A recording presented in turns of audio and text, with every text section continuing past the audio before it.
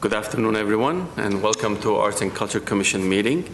Today is Thursday, July 21st, 2016, and roll call, please. Commissioners Dare Hovanesian, Here. Commissioner Deaver, Here. Oshagan, Yes. Sahakian, and Chairperson Sharikian. Yes. Just to make a note, uh, Commissioner Sahakian is absent. The agenda for July 21st meeting was posted on the bulletin board outside City Hall on July 15th, 2016. Item number two, consent items. At 2A, approval of regular meeting minutes from June 16th, 2016. Any comments or any changes? Motion to approve. Second? And Any second? Second. Yes, I second. Sorry, I thought you seconded. No, I cannot. Uh, who seconded? Arash second. And the vote, Commissioners Dare Hovanesian, Yes. Beaver, Abstain. Oshagan, Yes. Commissioner Sahakian is absent, Chairperson Sharikian. Yes. Item number three, introductions and presentations. At 3A, Library Arts and Culture events presented by myself, Chuck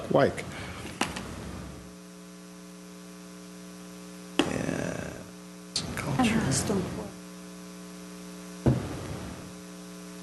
briefly go over some of the uh, events that uh, you or the the commission or the library is involved with. Of course, we're finishing up summer reading. Uh, runs through August uh, for most of our uh, users, teens and adults, but children uh, will cut off at the end of July. Uh, But there is a new online version of the program that we're, uh, we're working with the state of California on. And we're getting a lot of kids who are, who are uh, kind of joining both. So they collect points. It's not quite as interactive and uh, as Pokemon, but it, it seems to do the trick. So we'll keep going for another month. Uh, the Gravitas show at the Brand Library ends on August 5th. That's been a really, really interesting show. Five Los Angeles area artists um, and, and rather interesting sculptures and pieces of art. Uh, the brand associates are still looking for um, uh, submissions for their works on paper. Uh, that, that show will be at the Brand Library starting on September 24th. The Adams Square Mini Park gas station call for proposals closed yesterday, July 20th, um, and we will review those proposals uh, within the next couple of weeks. Uh, There are some 12 or 15, uh, which is the most we've ever had, uh, and they come from all over the place. Santa Barbara, somebody actually emailed me from back east. He just finished his MFA in Boston, and he's driving across country, and he emailed the, uh, uh, his proposal. Tonight, uh, at the Adult Recreation Center next to the Central Library, best-selling author Cynthia Sweeney will discuss her book, The Nest. That's 7 p.m. Thursday, July 21. On top of that, Viet Nguyen uh, wrote a novel called The Sympathizer. He, he, uh, it was published this year in 2016. He won the Pulitzer Prize for novels uh, this year, and uh, he also won an Edgar Award, which is a mystery uh, writers award. So he's coming in September. We're really happy to, to get him. That's September 29th. Um, we continue our, our uh, progress with the Central Library renovation. There are a number of uh, public numbers, websites, Twitter, Instagram, uh, social media. You can get a hold of us uh, if you want to know about that. Uh, Our Central Library is open Monday through Thursday from 2:30 to 10 p.m. Unless you're a child or a parent with children, you can go up to our children's room at 10 o'clock. We're really busy over there, even, even with the renovation. Um, Something you'll be interested in this Friday, that's tomorrow, the Mighty Cash Cats will present a tribute to the music of Johnny Cash and June Carter Cash. Uh, the band leader just got back from a tour of Ireland, of all places. He played very large uh, halls over there. They're going to have him back again. Uh, so it's an internationally famous band. Uh, the Celtic Consort will be uh, at the end of the month, Friday, July 29th, at the Brand Library. Soul Sauce will bring their uh, Latin jazz music to Brand Library on beginning of August, August 5th. There's a world, kind of a world music jazz group, Quarteto Nuevo, on August 12th. Sangoma Beat, like loud music and lots of drums. Uh, it'll be a lot of fun. You can bring your kid and dance around. That's August 19th. And we will finish the Brand Library Plaza series this year with Melinda Hale, uh, singer songwriter from Los Angeles. Uh, it's so far it's been a very very uh, positive experience. I think for uh, the community, we have. I, I would. I'm estimating between 50 and 75 regulars. I see the same people every week. I saw them last year um, there's a nice core crowd. They know they're going to get a good show and they show up for it.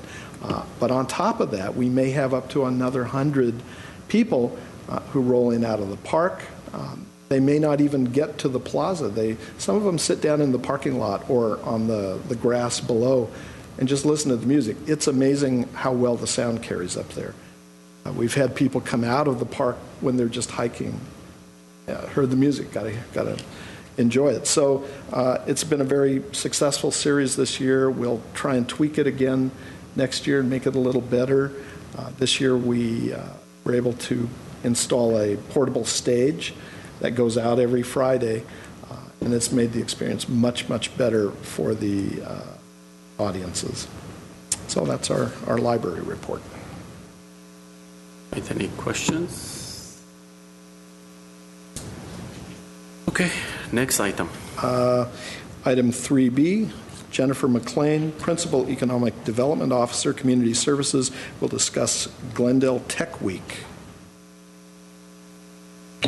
Well, good afternoon, Chairman Chirikian and Commissioners. I am happy to discuss Glendale Tech Week. Um, since I last brought this to your attention about a, a, month or so ago, we've made significant progress. And I wanted to update you on where we are right now and highlight some potential opportunities for participation, which I know we'll get to later uh, in the, uh, on the agenda as well. But um, just looking at the agenda and at the website itself um, or the program. So, to date, we have about 20 events lined up for Glendale Tech Week. Uh, this is going to take place from September 13th uh, through September 17th. And really, the goal is to try to highlight innovation happening here in Glendale, really with the emphasis that we would highlight the companies that are here and an effort that would bring in more of these types of businesses and jobs here ultimately, these are good paying jobs. Uh, these are folks that we eventually want more and more of here in Glendale. So as we take a look at, um, oops, maybe it's offline. How close do you have to be? There it goes. Too far away from. Too far away. Yeah. All right. Well, I'll just go ahead and um, go through some of the schedule here. If you want to move the microphone. Oh, there we go. It seems to be a finicky little uh, mouse here. Oh, you click. Yeah, there you go. There we go. Okay. So this gets into some of the schedule for the week. So it's going to kick off on the 13th. We have Glendale Young Professionals that's going to host an event at Hollywood Production Center. It looks like we're going to have Steve Zurn give an update on what some of the tech updates are from Glendale Water and Power. Um, Tuesday has actually been quite an open day as well. It was something initially that we thought, well, we'll see if there's any other activities on that day. Um, so that might be a very good day uh, to plug in any potential programming that we might have on the arts and technology side. On Friday, uh, excuse me, on Wednesday morning, we have uh, the the uh, job fair at the Verdugo's Job Center, and that will highlight uh, potential tech jobs that are within Glendale. Uh, we will really kick off festivities at the Alex Theater at 10:30. That's where folks can, can start picking up their badges. And we have our first panel, uh, which is really our tech consultant that Economic Development hired to go into the tech landscape within Glendale. What does it look like? Uh, how is there? What is the progress on the study so far? And really talk about how do we continue to build upon a tech ecosystem. Um, we will then go into a series of other panels. Uh, we have Vincent Brad- Bradley, he's uh, out of the West Side talking about crowdfunding. We have Jay Chang and Kevin Yamazaki. They'll be addressing Tech for Enterprise. Uh, one of these gentlemen works for USC, uh, Incubate USC, another one for Sidebench. Um, then at 4 o'clock, uh, we have an event at CBRE. Very happy to announce that Rick Caruso and Lewis Horne, who is the regional um, president for the Los Angeles region for CBRE, they'll be hosting a panel. And from 5 to 7, we'll be doing our kickoff party at CBRE. Later in the evening, we'll be going to Bourbon Steak uh, and be doing a little bit of uh, speed networking and meet the funders. We're hearing a lot of feedback from potential tech um, and startup folks that they want to have an opportunity to just meet one on one with some of these uh, these funders and get some feedback. So that's what we're looking at programming. You'll see that there are some blank spots as well. Uh, we have a few programming uh, elements that are in the works. We're, we're looking at finalizing those. Uh, later in the day, we have a lunch and learn scheduled over at LegalZoom. Uh, then we have a panel and site tour at Yellow Pages. Um, and then we have a tech tenant unveil at JLL's um, building over at 450 North Brand. So I'm not even sure who this new tenant is, but I'm really looking forward to finding out who it is. Later in the evening, uh, we have a reception at the Museum of Neon Art and the breezeway there. And uh, we just had. Um, meeting with the consul uh, with Dominican Republic, and they are actually going to be folded into the program as well. Uh, they have some tech elements um, that they're looking to focus here in Glendale, um, and some interesting international ties, and a rum bar as well. So uh, who can say no to that? Um, then later in the evening, we have a pitch fest. Uh, we are giving, uh, we have an open call to companies. They're going to have five minutes each to get up, make their pitch. It's not a competition, but just an opportunity to perfect their pitch, get in front of a crowd. Uh, so we still we have five spaces left still um, for that opportunity. Um, then leading, leading into Friday, this day is really centered more on what we're seeing in tech within production, uh, animation, media. So we have a few other elements of programming we're, we're plugging in there, uh, but we have folks from Lucasfilms. Disney's going to have a panel. Uh, we have a, a, a, solar system ambassador that's going to give a talk on the science of the Martian and how accurate that really was or was not. Um, and then eventually uh, a few other pa- panels, and then we'll lead into um, a concert at the Alex Theater. Um, finally, on Saturday, we're going to um, have a VIP lounge at the Open Arts and Music Festival, and we'll be working and seeing how we can collaborate with uh, the festival as well. And uh, just because we uh, believe in tech here, we are also promoting the Valley Economic Alliance's uh, hackathon. So this gives a, um, a preview of what's on tap here, and then this starts to get into some of the speakers. Uh, we're adding these speakers as they as they come online, uh, but here's just a sampling of some of the folks.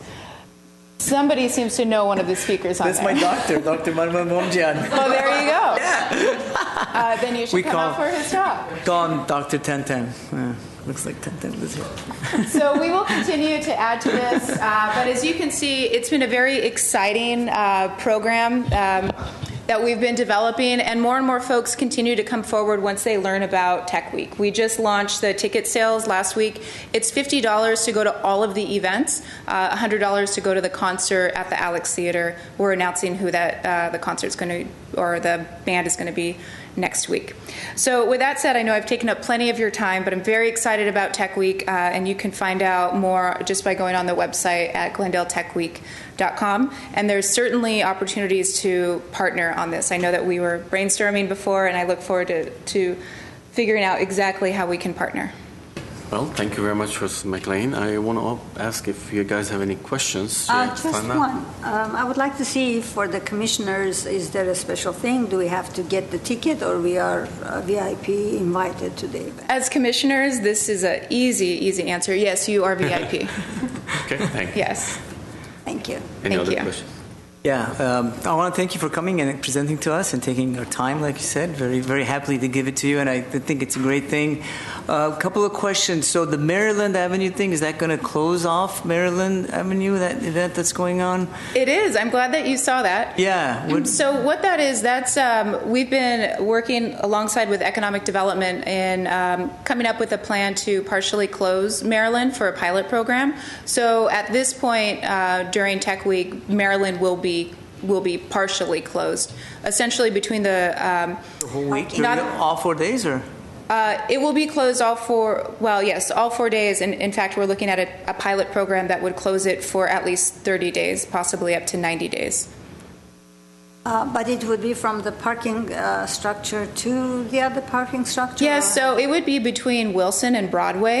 Um, so within that, even within that street, a little bit more narrow between the entrance and exits of the parking garages. It's one of our challenges because that's really a, it, it's really the only way in and out. So it's a small area, but uh, it's still about 2,500 square feet, and we believe just by closing that, it will help activate the street um, and get pedestrians out there, and really an opportunity just to enjoy the space. It's an intimate, beautiful street, and we're hoping to just slow traffic down and get people to enjoy it. Another question. So, any response from? I mean, or have you started uh, getting the word out about Tech Week and anybody signing up already, or what's what's the response? Yeah, so the response has been very good. Uh, we, as I said, the ticket sales were just launched last week, so we're starting to get some of the ticket sales in there. Uh, but then we also have sponsors that are coming forward. Each of the panelists uh, and the venues that are hosting, they're going to have uh, their employees join. At this point, we've hit an interesting. Um, I won't call it problem because it's a good problem to have, but the, the programming is getting so full at this point that we really can't accommodate uh, that many more events. So we're, we're just trying to encourage folks that for this, I don't think that we need any more events, but what we really need is support. We need folks to come out and enjoy the activities, and hopefully that will be enough momentum so that next year we can accommodate all of the activities. But it's been a, a tremendous response so far, um, and any any support we can get um, from the commissioners or from the city to continue to get the word out, uh, it would be well received and much appreciated. Do you have any Facebook uh, events or announcements? That is a great point and something that we realized yesterday we don't have. Uh, so we will be working on creating that. Let us know so we can spread the word. I think this is the easiest way. to Okay, spread the very word. good. Any other questions? And and just one more comment. So let's definitely uh, keep coordinating because I think it would be great to have a presence. If, if Tuesday is the best day, it looks like Friday has some available space also to do an arts and technology panel. Yeah, sure. I will bring that up in my report. I've Oh, is that right? Okay. Interesting things to say about that. Excellent. Thank you. Okay, thank, Thank you very much for stopping by. Great, Thank you. Thank you. Thank you for coming, Jennifer. The next item. At item 3C, Elin Isayan, Community Services Supervisor, Community Service and Parks, will talk about concerts in the park. Good afternoon, Chairman Sharikian and um, Commission. My name is Eileen Sayan with Community Services and Parks Department. I'm actually here to invite the Commission and also our community to our parks concert event we have every Wednesday, scheduled at North End of Verdugo Park from 6:30 to 8:30. We have two more. Um, concerts left for this summer. Um, the event is organized by uh, Community Services and Parks Department, but it is sponsored by um, Michael Antonovich's office, LA County Art Commission, and we do have some additional um, sponsors: Super King, Neptune Productions, LA Print House, Nature's Bakery, and Kona Ice. Uh, our next event is next uh, Wednesday, and we have the Swing Cats. The um, series ends August 3rd, so we would love for the community to be involved and to be out there. Thank you. Any questions? I'm very glad to see that, you know, we are offering this for the community and to see that different organizations and individuals have uh, sponsored and have shown their interest. That is great. We really want community to be part of whatever our city does. Thank you. We've had a great turnout in the last uh, four that we've had. I was And- there a couple of weeks ago, and uh, I saw the crowd. It's pretty good. Yeah, so it's been exciting. I was surprised to see that event. I, I wasn't aware of it, but It's- I stopped by for about 15 minutes. But uh, turned out very nice place. Yeah, we've had a great turnout, and we hope to continue to have a great turnout. So thank you so much for your time. Thank you. Okay, next item. At 3D, we have Velvet Rhodes. We'll talk about the Glendale International Film Festival, and she asked that we start off with a couple of Good videos. afternoon. We're going to show you a short video.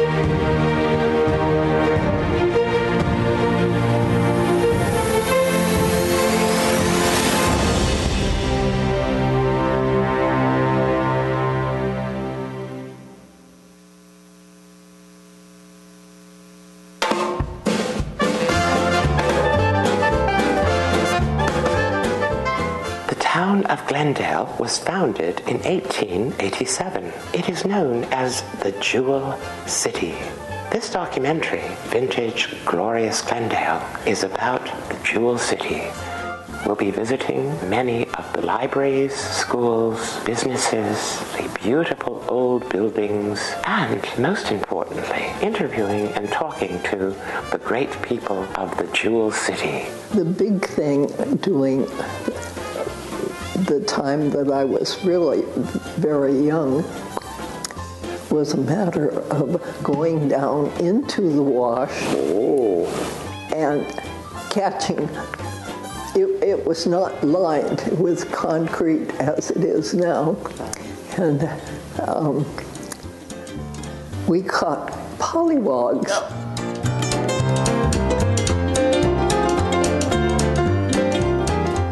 When it was founded in 1893, the members uh, who founded the society realized that they needed to have uh, books and publications locally for them to grow the organization. So they started back then, of course, long before the internet and let alone the automobile, uh, of bringing out books uh, on uh, on trains. And so by 1900, the collection was about 5,000 volumes.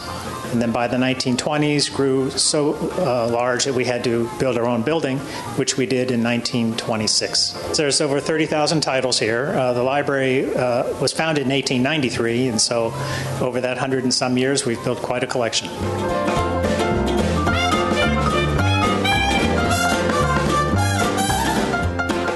My bicycle over town, dropping into the Y, dropping out of the Y, coming to day camp, and uh, as I say, I was a kid in those days, and World War II was on. And Glendale was quite a hub for building of P-38 aircraft and training men to fly the P-38, which is quite a dangerous airplane. It had two fins that came back and hmm. scary airplane. But all of this area below us, San Fernando Road, which is a big major street just back behind us, was all under camouflage.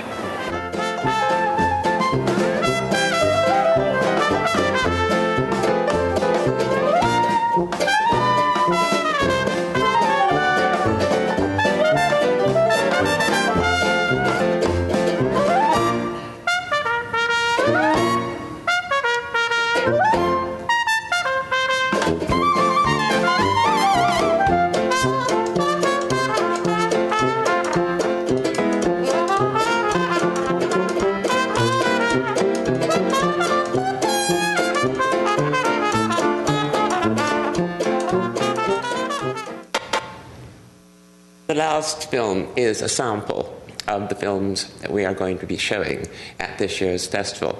Um, unfortunately, the end of the clip uh, for the first video didn't play completely. Um, but anyway, in 2013, I went to the Idlewild Film Festival, and I was fortunate enough to become a winner of that festival for my series, Room for Rent.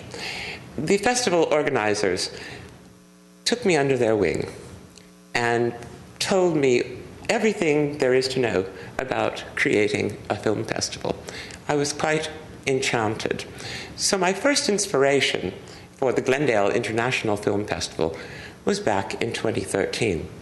In 2014, we actually put together the first year.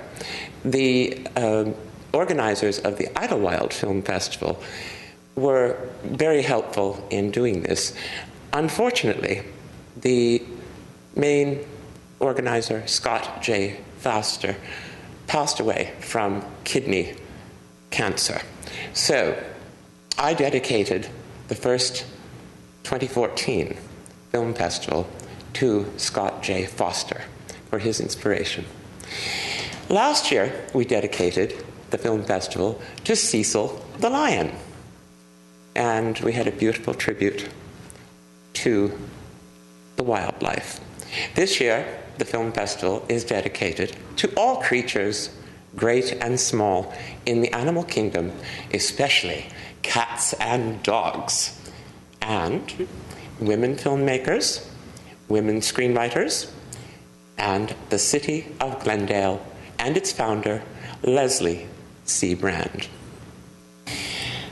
So, we're going to have a great festival this year, and I do hope you can all attend. And uh, we'd like to spread the word throughout Glendale and let everyone know about it. We have nice little postcards, and we'd love to be on your calendar. Okay, sounds good. Uh, any questions? Any comments? It was a very nice presentation. Thank you for keeping community aware and coming and reminding them till the due date. Very good. It sounds very exciting. Yes, and you can get more information at the website glendaleinternationalfilmfestival.com. Thank you for your Thank time. you, thank you. Thank you very much. Okay, next item, Chuck. Item four, oral communications. Discussion is limited to items not on this agenda. Each speaker is allowed five minutes. The commission may question or respond to the speaker, but there will be no debate or decision. The commission may refer the matter to city staff for investigation and report.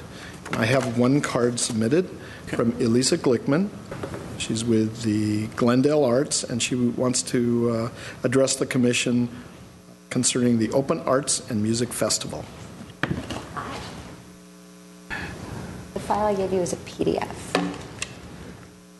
Hi. Hi. Members of the commission, Mr. Chair, um, I'm so excited to be able to finally unveil our beautiful new logo and talk a little bit about the Open Arts and Music Festival. Sorry, I'm a few minutes late. We had our own board meeting earlier today.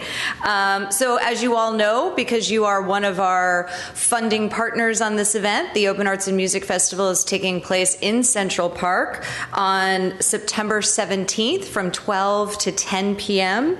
Um, in downtown Glendale. And if you could actually turn to the next page for me, there you could see it. We are excited, and once again, next page, sorry.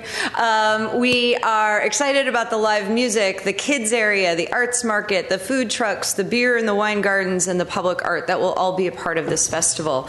Um, I can tell you that we are 70% to booking all of our artists and all of our arts vendors. Um, we are currently curating all of our food um, vendors. We have wine and beer partners, and um, we'll be able to announce our Kids Zone participants as well quite soon.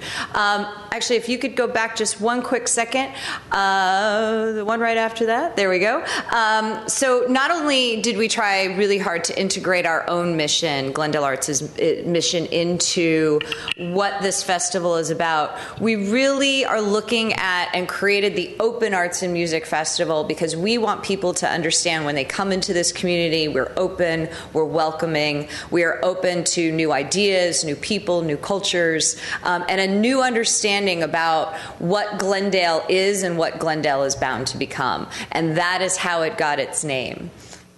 Um, here's just a little bit about some of our sponsors. As I mentioned, you all are, are key and significant partners in this event, but we're also proud to, in addition to the contributions that Glendale Arts has made, um, be working with the Downtown Glendale Association, the LA Arts and Culture Commission, Supervisor Antonovich's office, and then if we turn to our next slide, we can see some of our cor- corporate po- partners. Gosh, I can't even speak today. Some of our corporate po- partners that we have um, secured and, and, are at this point allowed to make public. We have some other partners that we will be unveiling in the next couple of weeks, but certainly the fact that we are working with the Americana brand, CBRE, our friends at Street Food Cinema, who are going to help us promote the event, the Brew Yard, which is um, an active participant in our beer garden, um, ESM Productions, which is the production team that is um, working with us to secure the talent and develop the safety and the site plan for the event, and Studio Chew, which did all of the beautiful graphics that you see um, today. A little bit more about the festival. As we've talked about over the last couple of months, it has seen quite an evolution from what I originally presented. Um, gosh, it was so long ago, maybe three years ago was the plan we originally presented. Um, but in addition to the things that we originally envisioned, like the kids zone and, and all of that, we've really um, broadened the scope to be much more inclusive of all of the various components that make up Glendale and, and the downtown community. Um, here's just an example of some of our Facebook um, posts that we have started and our Facebook page. So if you are on Facebook, please be sure to like us there. Um, and we will be making uh, entertainment announcements, vendor announcements, all of that on that. Uh, vehicle. We have Instagram, also a fun little, apparently the kids like it a lot, this Instagram. And so this is a fun way to reach out and to tap into our target demographic um, for this event. Um, our Twitter page, and then finally, our fabulous website. So, this website, when you go on this website, I find it very distracting because you can actually move some of the letters around on the page. So I find myself on the telephone sometimes, just you know, creating my own art online. Um, it has little music that's curated in the background, um, but it's also the perfect vehicle for us to not only announce the event, make announcements about our some of our new partners, about again our artists and participants. We also have information about public transportation, parking, biking options, and some of the businesses that are around the area, so that if you do want to venture out of the festival grounds at any point, there are plenty of opportunities for you to experience Glendale um, outside of Central Park. So I hope that you will visit one of our many pages, and I think we leave it here um, with our Facebook, our Instagram, our Twitter, and you can always go to openartsmusic.com, which is our website. Thank you very much. Thank Any you. questions? Just looking forward to it. So am I. I can't wait. It's going to be a busy weekend. It's a week. very busy weekend, and we're really excited to be a part of um, sort of the end period to Tech Week, which is also going to be phenomenal. So um, it's a great opportunity for us to really put Glendale in its totality in light for people who have never been here, wouldn't think of coming here, or have come here a lot but don't really know all the hidden gems that are in this community. So we're very excited to be a part of all of these. Um, yes, sorry I missed the board meeting today. Well, you had something else going on. I was. I was at a funeral. Oh, I'm sorry to hear earlier, that. Yeah. Um, but thank you very much for coming and presentation. Could you talk a little bit about the public art aspect of it, which I think really interests the commission? Sure. And I know there is that evening thing uh, that's going on. Was there were talk about having something during the day, public art installation of some sort?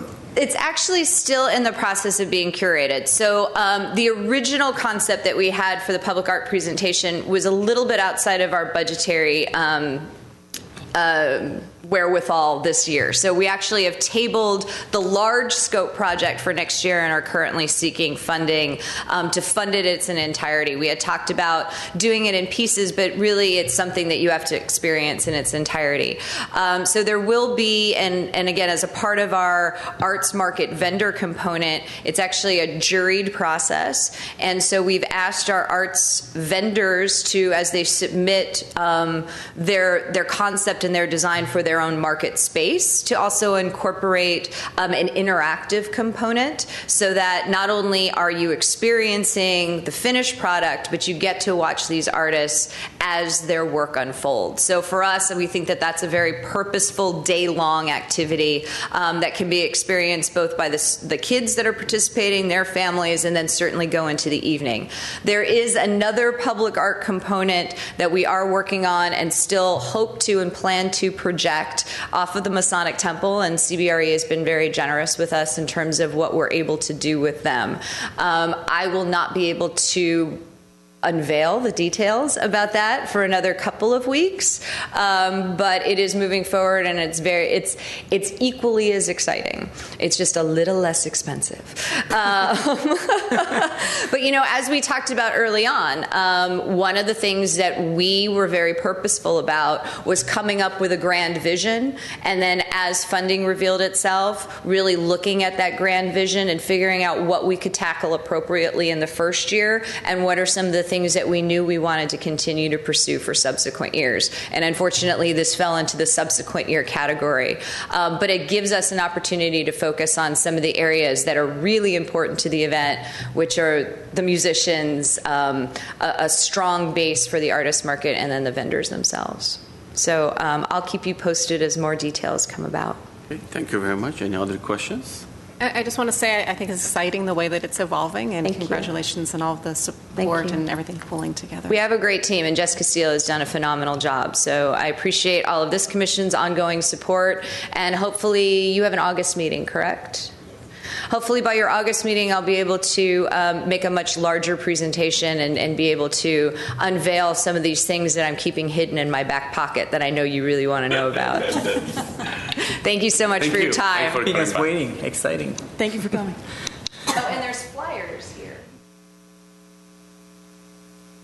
All right, next item, please. Item five, business agenda. At A, action items. At A1, Arts and Culture Commission project updates. At A1 sub A, work plan elements and status. And at A1 sub B, motion approving a new allocation of $8,000 from temporary art in public spaces for Tech Week art events and cultural programming for the Maryland Street closure.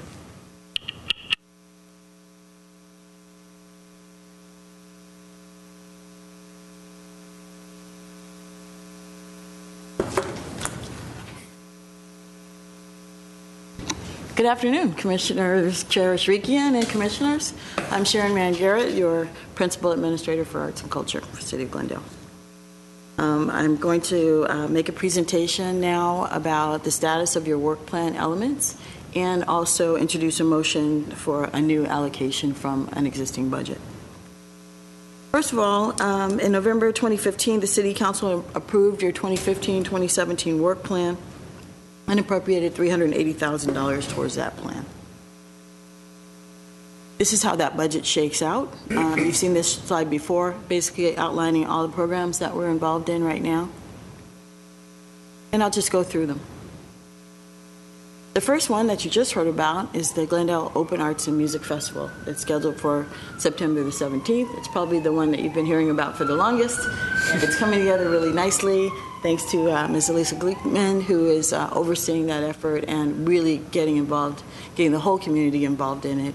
It's going to be the culminating event of our Tech Week, and we're really excited about um, that, you know, ending our Tech Week with a big bang. Next event is the Open Studios Tour for this fall. Uh, we now have a date of October 15th and 16th. Uh, 1111 Creative Collective is our consultant that's handling that for us. They're busy with another event today, so they couldn't be here, but they did submit to us their timeline, which looks really good, um, and I'm really excited about working with them. Uh, since we contracted with them, we've been exposed to many other events and projects that they've been working on, and they're all very, very good. Uh, we're, we're really um, glad that we selected this consultant. So the uh, Open Studios tour will be October 15th and 16th. Currently, we're working on the branding elements, the logos, etc. Those things will be finalized probably tomorrow. Um, I saw some drafts today and sent them back for some minor changes. Once we do have the final logos, I'll be sending them to Commissioners Derhovnesian and Deaver for their approval. But I think they'll be very happy with what they see. Next project is Beyond the Box, our mural box program, which is uh, in its third year, Chuck. Um, our next wave of mural boxes will be done um, the 14th through the 16th to coincide with our Open Studios tour. So the mural box installations will be a stop on our Open Studios tour. Um, the mural boxes that we've selected for this time will be along South Glendale Avenue and Colorado Boulevard, two very highly dense urban areas. So we hope to create a lot of hoopla with that density.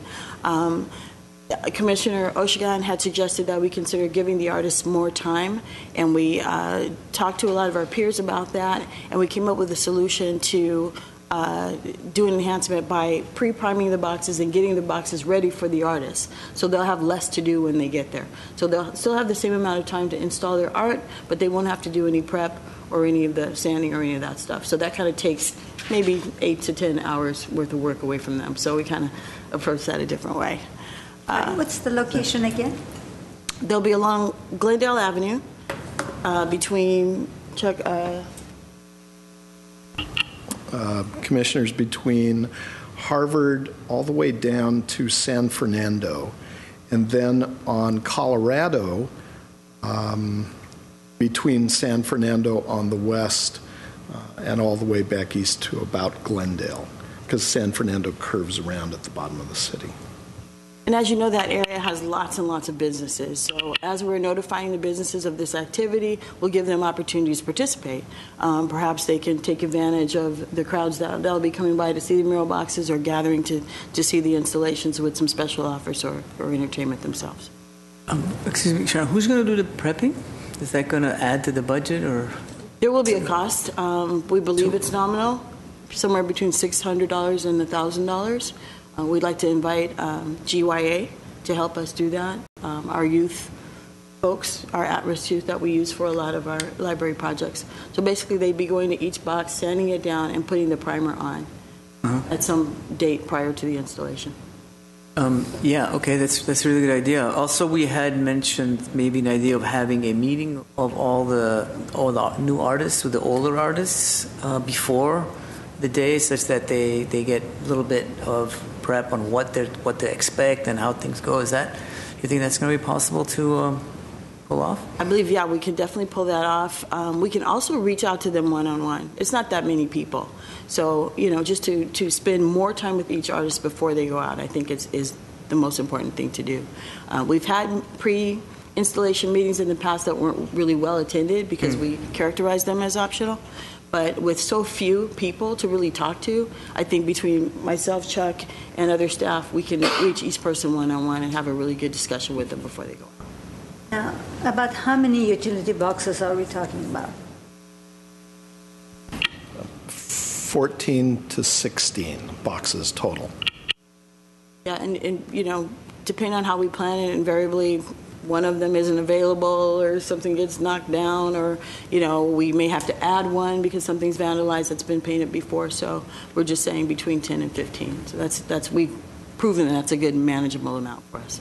And we'll be enlisting all the support of you all again to um, come out and um, help uh, talk to the artists, take pictures, Instagram, all that stuff to make it a really great event. But hopefully, we'll be having you circulating throughout Open Studios Tour as well, so that'll be just one stop in your day. All right. Moving right along, uh, our Plaza Series, which uh, Chuck already talked about, is underway. Um, we had 70 submissions this year. We selected 13 perform- performance artists, and we've had a really wonderful turnout and really great art with that, that series. So we're just really happy with how that's going. And perhaps one of the most important uh, projects that we're working on this year is the Public Art Master Plan. Um, we We reviewed several proposals from consultants that were recruited nationwide. Um, because of the level of expertise and the specific experience that we asked for, we only got four proposals, but we did check in with some other cities, and that's about average. Um, Pasadena got three, some other cities got four or five, but the amount of response that we got was actually to be expected. Um, staff and Commissioners Shariki and, and Sahakian interviewed the two highest rated proposers, and we're now recommending that we move forward with the negotiation with Cars and Barbara Goldstein and Associates. One thing I wanted to point out is that although we only got four proposals, the one proposal that we got from Cars and Barbara Goldstein, I think, is probably the highest, best proposal we could have gotten from anybody on the West Coast. Um, Ms. Goldstein has really distinguished herself in public art. She's a Stanford Fellow. She was uh, recently recognized by Americans for the Arts, which is the largest and most important arts organization uh, in the U.S. So having her on their team, for me, creates an, an ace in the hole. And then with CARS, uh, they have a, a long uh, reputation, high reputation for community engagement, public projects, including Ciclavia and others. And so we just are really excited about this team coming to work for us. So we'd like to move ahead with negotiating their fee and taking this to the City Council, hopefully on the 9th of August. Question? Um, one of the things I, I, recall when we talked about it as a full body was that the Barbara Goldstein's um, role in the overall proposal was, was fairly small compared to the cars just budgetarily. Um, and so how, how did that come out in the, in the interviews or what more did you learn about that? We had a lot of conversation about that because of the two proposers that we were looking at, they both proposed something. The actual proposal was, was far higher than the $50,000 that we had budgeted. So we talked about um, what specific things we really needed. And um, we came to the conclusion that we had not budgeted enough and that in order to get the right amount of participation from, from all the participants, especially from Barbara Goldstein, we'd have to allocate more money. So that's why we're currently in the process of, of negotiating the actual fee based on what, what we're going to need. So just so just to clarify, so are we negotiating potentially a, giving a higher fee to get the full scope, or are we talking about kind of deciding what's most important within that scope? The former, a higher fee to get a larger scope. Um, there are some things that they proposed um, that we frankly don't need because we have those from other projects, other um, community engagement projects where we've gathered information from our communities. So there, there's some information that, that, you know, that we're kind of ahead of the curve on as a city. Um, but so, uh, so in, in terms of, of gathering information specific to the plan that would inform the plan? Yes. So that's something that might be, be cut? No, no, increased. Oh, okay. Increased. So However, more participation. The, both of the proposers proposed a level that's higher than we feel that we need. However, it's we still feel we need more than we have budgeted for. So we're negotiating somewhere in the middle of that so that we get the right amount of community engagement. Um, and I know that there's a committee actively involved in, in all of that. Will that come back to the commission for us to have a bit before it goes to council? So as a body, we have a better understanding or clear understanding of what the final thing will look like. I mean, some of us are, are pretty invested in this. This is a huge, huge piece for the future of Glendale and what we are putting forth in terms of policy, in terms of opportunities for long term art. And I, I just want to make sh- sure that I understand, and I'm sure other commissioners feel the same way, exactly what it is that we will be getting and what we're paying for that. Sure. We can certainly bring uh, Cars Goldstein back to this commission at your next meeting and have them present to you. Um, Actually, I need to uh, go on the same thing. We discussed that in our meeting, that uh, two of our commissioners are going to sit in that committee, but it's going to come to the commission at large, so we will all be exposed to exactly what needs to be done. I agree with you. That was even shared That's fine. and discussed. We can absolutely do that. Just to So remind, We can have so them come good. to your August meeting and present to you. Since it's a major thing. It's know, absolutely major. Yeah, that was my understanding also that we would interview, we would get a chance to interview the, the person that was chosen by this, by the committee. Um, I would like to get a, like a brief, you know, what did they present to you? Um, you're on the commission, right? And, and, you know, what was the con, the pros and cons? I'd just like to get like a few minutes brief of exactly what happened in that meeting and why you said it's a better proposal, but in what ways is it better than the, the other one? I'd like to get just a brief on that. We'll be happy to do that. We can bring them back to your next meeting and um, have them fully uh, present to you.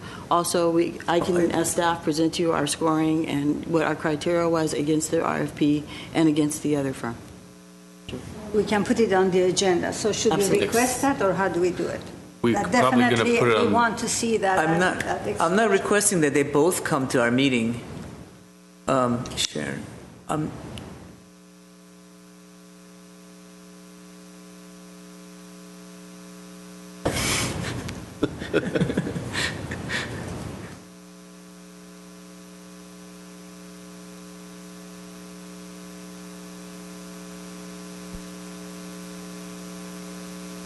Yes, Can I- we will bring them back for a public meeting. Can I meeting. clarify? I mean, I think we all agree that we want to hear the, uh, the interview, the, the, the one that was chosen, but I'd just like to get a report from you uh, about what happened at that meeting and, and why. I don't need the numbers, I just need like just to tell me.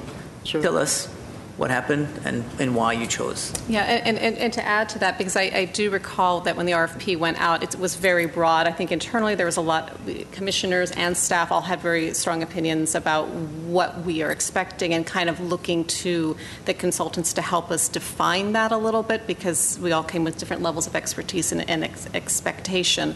So having a full understanding of what came through in, in that in the in the meeting and and then also what we are signing off on before it goes to, to council. Well, I'll have to beg for your forgiveness and my eagerness to get this rolling. Um, I, I uh, was suggesting that we, we move ahead, but we can wait and um, go ahead and bring them back uh, for your next meeting and, and really pour through this as, as you're suggesting. That's absolutely fine.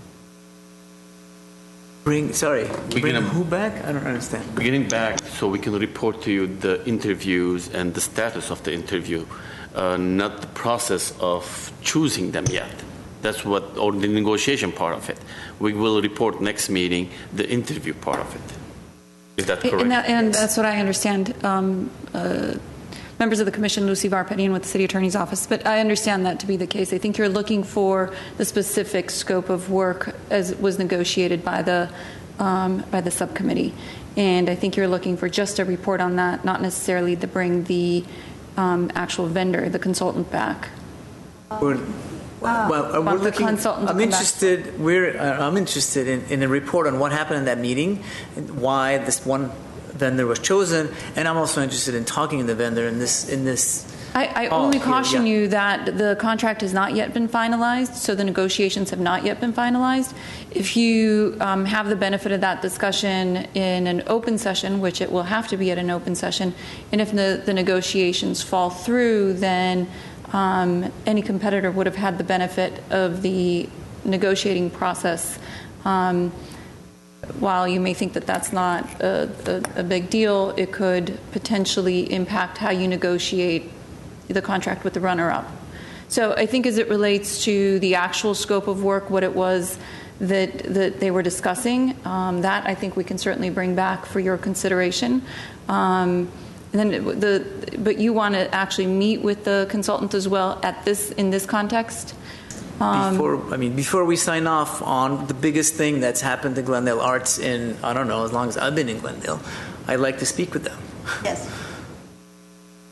One moment, please.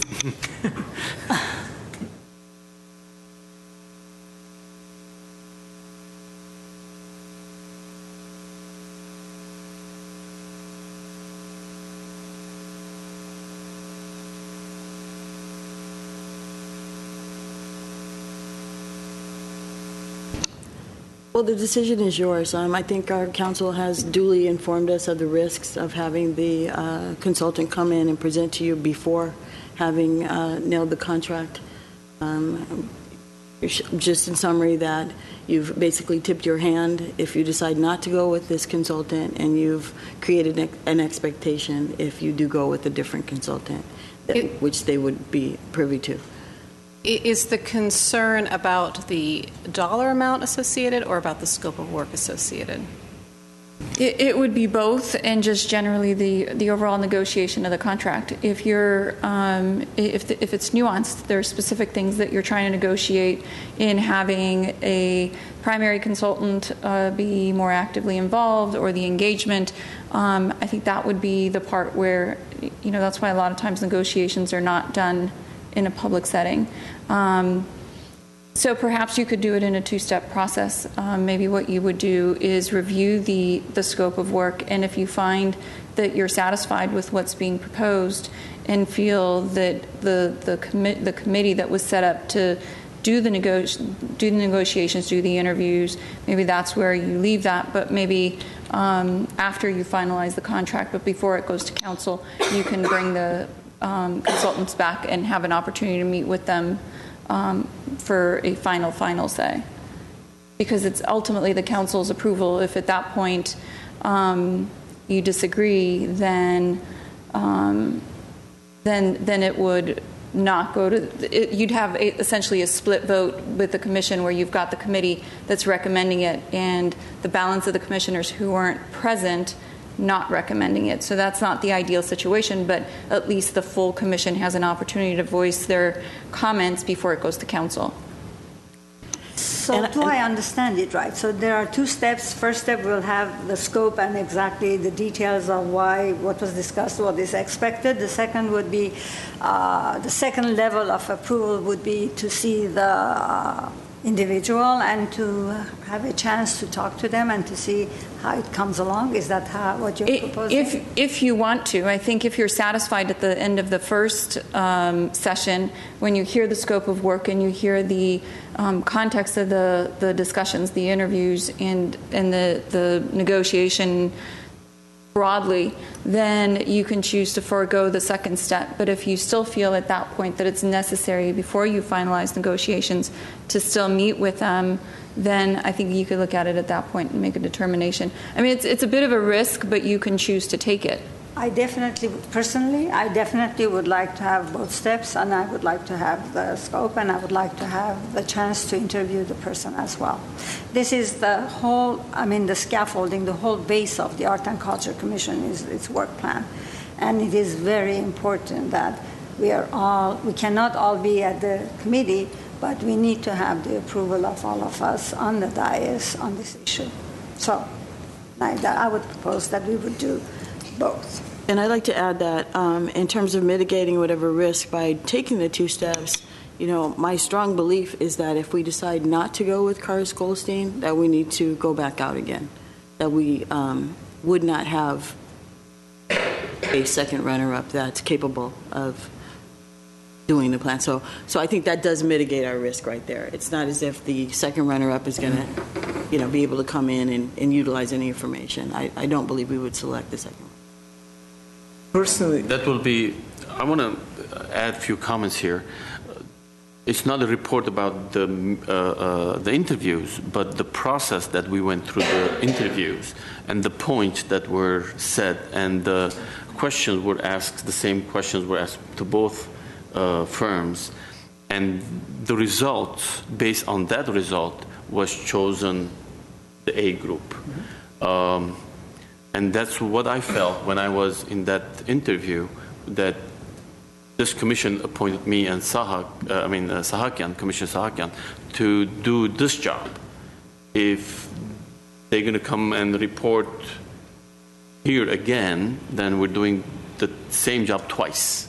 That's, that's my understanding. But can I say something? Uh, when may. we were talking about this and we wanted you to appoint another person, you as the chair, chair to be in that committee, was discussed that.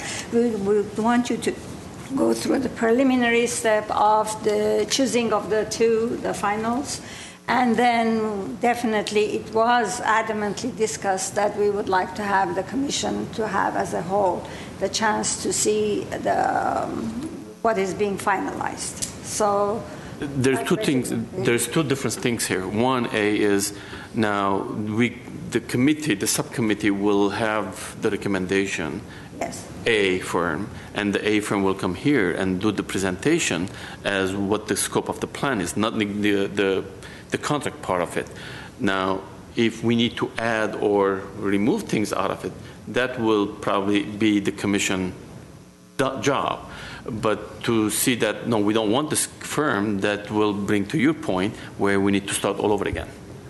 And that's my understanding. It will not go to second option. Okay, we have a second, no, runner up. No, it, I, I don't think it will be correct to go there.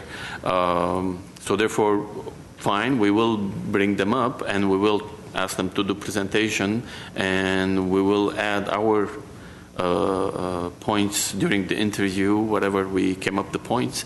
Um, but if we do disagree, then we need to go back to uh, point zero and start again. That's my understanding. If I'm wrong, then please uh, correct me. I think we're agreed, yeah. I think staff agrees with that. Okay. All right, then if everything is, are you guys okay with it? I, I just, I just I'd want like to to add hear. one more thing. Yeah, go ahead. I, I just want to hear it articulated again to make sure we're all on the same page, um, because we probably have slightly nuanced opinions about what it is that's important in this process. So can I hear back from staff what, what it is that we're doing? Okay, um, it's that we would, A, bring back our whole selection process, really talk about what the RFP said, how we uh, arrived at the selection, all the criteria that we used to evaluate the candidates, and what the outcome of the interviews were, N- you know, not in specific numerical detail, but in summary. The second uh, part of that would be to bring the selected consultant or the recommended consultant in so that they may um, present their qualifications and answer any questions. Basically, the plan that they're going to follow. Yeah, and so Can that I'm, not I'm not in, I don't think we're interested, I think I'm okay with uh, the negotiations, the financial negotiations being done without me being involved. I, I'm really interested in the scope of the work. And so before the negotiations begin, it's, it's very important that they come here and, and they, they get the scope of the work that they need to do from us as a whole, as a whole That's a body, good point. Yeah. right? And then you guys go negotiate in a dark room someplace. I don't know about it. I hope you have lots of light in the room. That's all good. You know, I like the wording that not the selected group, but the recommended group. So the recommended group comes here and gets the final selection approval here from the commission. And they're very clear that they're Before it goes recommended to and the not council. selected. They're very Yeah, yeah, clear. they're very clear, yes. Right, so I think, yeah, that's very important. And they're also, uh, if I may add, even we recommend that, and if it goes to the commission, I mean, the council, council. the council may not uh, choose them, so they are aware of that. Yeah.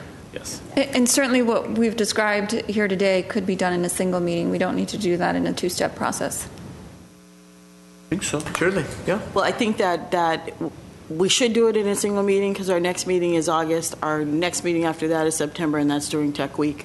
So we probably want to be out doing Tech Week stuff on that meeting. Can we, can we have a special meeting for this? You can. And could it be somewhere before September 12th? But y- Certainly you can select a date that's convenient for more. Because Yeah, I need to leave the coun- country, so does he. And we want to be public meeting. definitely here while this is. so August? August, the second meeting would be perfect. We'll just accomplish both activities within that meeting, try to keep the agenda light on other things, Sounds and great. um, Sounds good. really focus the next meeting on that. Even if it's a short meeting, but we want that specific part to to be the Agenda. highlight uh, of the agenda. So in advance of that meeting or as part of that packet, we will receive, uh, with ample time to review the scope of work, what we've agreed that they will be doing. And then their presentation really is just to add to that comfort, uh, correct? That would be in my report to you. Um, I would do a full report to you, including everything that we just talked about.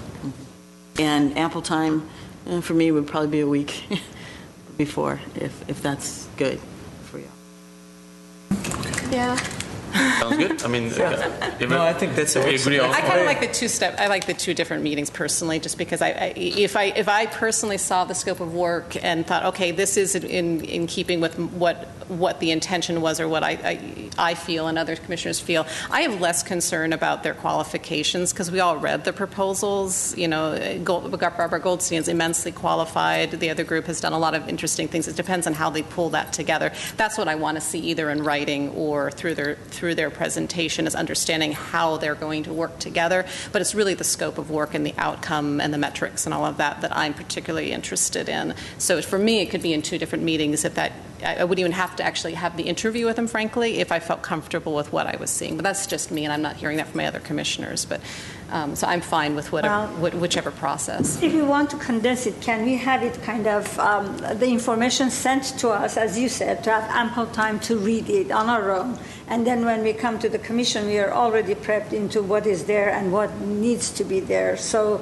uh, if we want to cut it into one meeting instead of two steps, would that work for you? I'm just I trying to wanna- keep there from I being wanna- surprises, I guess. You know, if we come to a meeting and we come and go, oh my gosh, these are things that we didn't agree with, and here they're standing here and they go, oh well, that's not what we heard in our committee. So I, I think that's why I think having two different meetings just avoids some.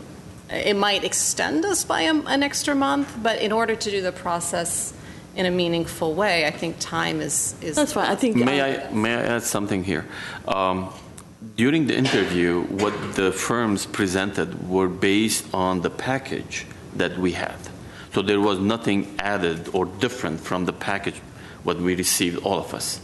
Uh, If you do have questions, I think within that package, that will be a good place to start, because they did not present something different from the packages, not A. Two, the list of questions that we had uh, during the interview where Sharon prepared, we can probably share that with you guys, which is, I don't think it will be a a issue. Um, Then that will give you also a prep, so you know where and what kind of questions we asked them and what kind of answers we got from them. And that will give you an idea how we narrow it down to one specific uh, consultant firm. Um, I think Sharon, we can, they can, we can, you can share all those information. Almost immediately. And uh, if you guys, I think in one session, we should be able to finish and have a, a recommendation. I don't see more than one. Now, if we disagree with that one firm, then we're going to start all over again, Oh. which, Can I say something? Uh, Since we have August, and in a way, I can see Commissioner Diver's point of view that if we need to rehash anything, yeah, we have seen it, but there are issues that we might l- like to look at the, what- the scope and all that.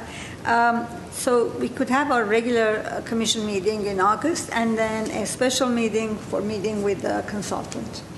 If, if needed, right? Or Both, no? both in Both. August. Both in Uh, August. So that way, it could be the other one, would be a special meeting, it could be a short meeting, you know, anything. That thing that we would kind of, in a way, if anything needs to be discussed, and you do not want that exposure in front of uh, the consultant. I want to ask Lucy if that's can do that. doable and it would, within the frame of the work that we're working, is that something?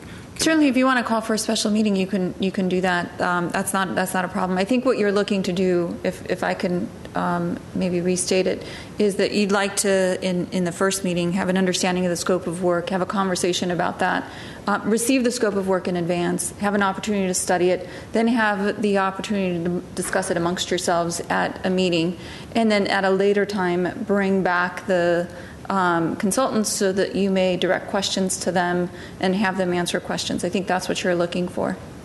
Um, yeah, you could certainly do that. That's not a problem. My only concern is, is that our, our subsequent meeting after August occurs during Tech Week. And, you know, we wouldn't be able to participate fully in Tech Week if we were having our meeting here. However, we can delay to our next public meeting, which would be October, for the meeting of the consultants, or we can call a special meeting after our August meeting and before September the 12th, when Yes. Commissioner Derhoven has to go away. Yeah, that makes sense. Yeah, that, that makes sense to, to me as well. But, but with regard to Tech Week, I mean, I'm, I'm, I understand it's happening that week, but I don't know that that, it doesn't impact me personally. Maybe it impacts staff. I don't know what our role is in it necessarily on that Thursday. So it, maybe it's more extensive on staff's time than I'm, I'm aware of. Um, I, Well, it's just a citywide thing that's going on. I think all the city council's going to be involved, mayor's office will be involved, city manager's office. but it's a four-day ev- event, and we're talking about an hour or, or two out of Or the two, maybe. afternoon. So Um, Let's work on the option A, which is either the end of August or earlier before September 12th. Okay. If it's not doable, then we will continue and do it during our regular meeting, which is September, uh, third week of September, which is Not during really in September, then it would be in October. In October. October. I mean, uh, I'm going to Yeah. see everybody's point. Okay, well, I think this is going to come down to scheduling, because it's kind of hard to herd you guys, so. And then eventually, we need to talk to the consulting firm to see if they're available. Absolutely. Yeah. Yeah, so it- it's going to come down to just Exactly. coordinating the schedule. Did I get it right? Are either both meetings in August, uh, one the regular one and one special meeting, or one in August and the other one in October? Precisely, Right? yeah. So that's what I'll work on, um, calendar-wise, uh, you know, just trying to get all the calendars aligned and all the planets, so we can take care of everybody's concerns. Sounds good, okay. And, and again, um, you know, I'm pushing ahead because I, I want to get things done, and, and, but I want to be respectful of, of, of the commissioner's thoughts, emotions, feelings, values, and make sure that um, everybody's uh, needs are taken care of. Uh, To me, it's Thank always, sir. sorry, you know, to me, it's always comfortable to see the person and to have an understanding of the person besides what is being said. So that would make me more comfortable, having had the chance to talk to her as well. Thank you, Sharon. Okay, thank you. And moving to the next thing, um, our pop-up arts um, program. Uh, We have a two-year budget of $50,000 for pop-up arts, and um, we had a study session with the committee members, that's uh, uh, Commissioner Deaver and Oshagan about pop-up arts, and the first thing, one of the first things that we talked about was the, the term pop-up arts. Uh, We think it's overused, it's trite, and it- it's almost um, uncool at this point, so we'd like to uh, I created the name AHA, which stands for Art Happens Anywhere. Um, it's um, supposed to surprise you and delight you. Um, it could be corny, cheesy, whatever, but it took me a long time to come up with it. so, if y'all have any better um, Yeah, we haven't come with anything better, so I think it's. I think it's aha. Um, we did look at a bunch, didn't we, Chuck? Uh, so um, we uh, created a call to artists, which was very thoughtfully crafted around the idea of, of it being about art that's unexpected and unexpected delivery models, unexpected locations, interesting, engaging, technology, technologically sophisticated, all those things that you would expect from something that would make you say, aha.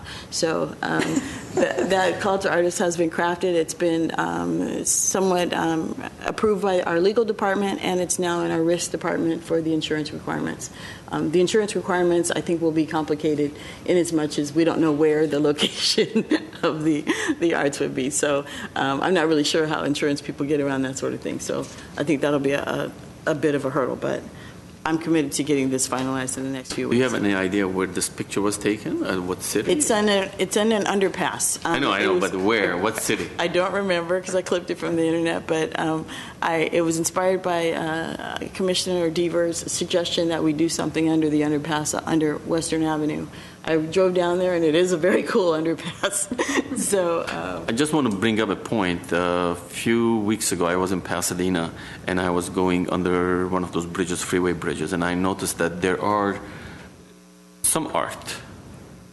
So it can be done. Oh, it absolutely can be done, done, and we've already begun to talk. And with trans, uh, Caltrans. uh, Absolutely, yes, with yes, we Caltrans. Um, We've already forged that relationship. Um, There is some history of a relationship between Caltrans and the city of Glendale, maybe, you know, extending way back to where the mural that's under um, Harvey was Yes. installed. So um, there's paperwork there. So basically, what we would need is a permit from Caltrans to use it. I've already met with their people, so um, we've we've kind of already halfway gotten over that hurdle, so. um, Next thing is um, Art in Adams Square Mini Park. Uh, As as Chuck um, informed you guys earlier, Uh, The revamped call to artists uh, was due yesterday, not today, and we've received several submissions, and um, Chuck is going to start to schedule up um, with the committee members to select on those.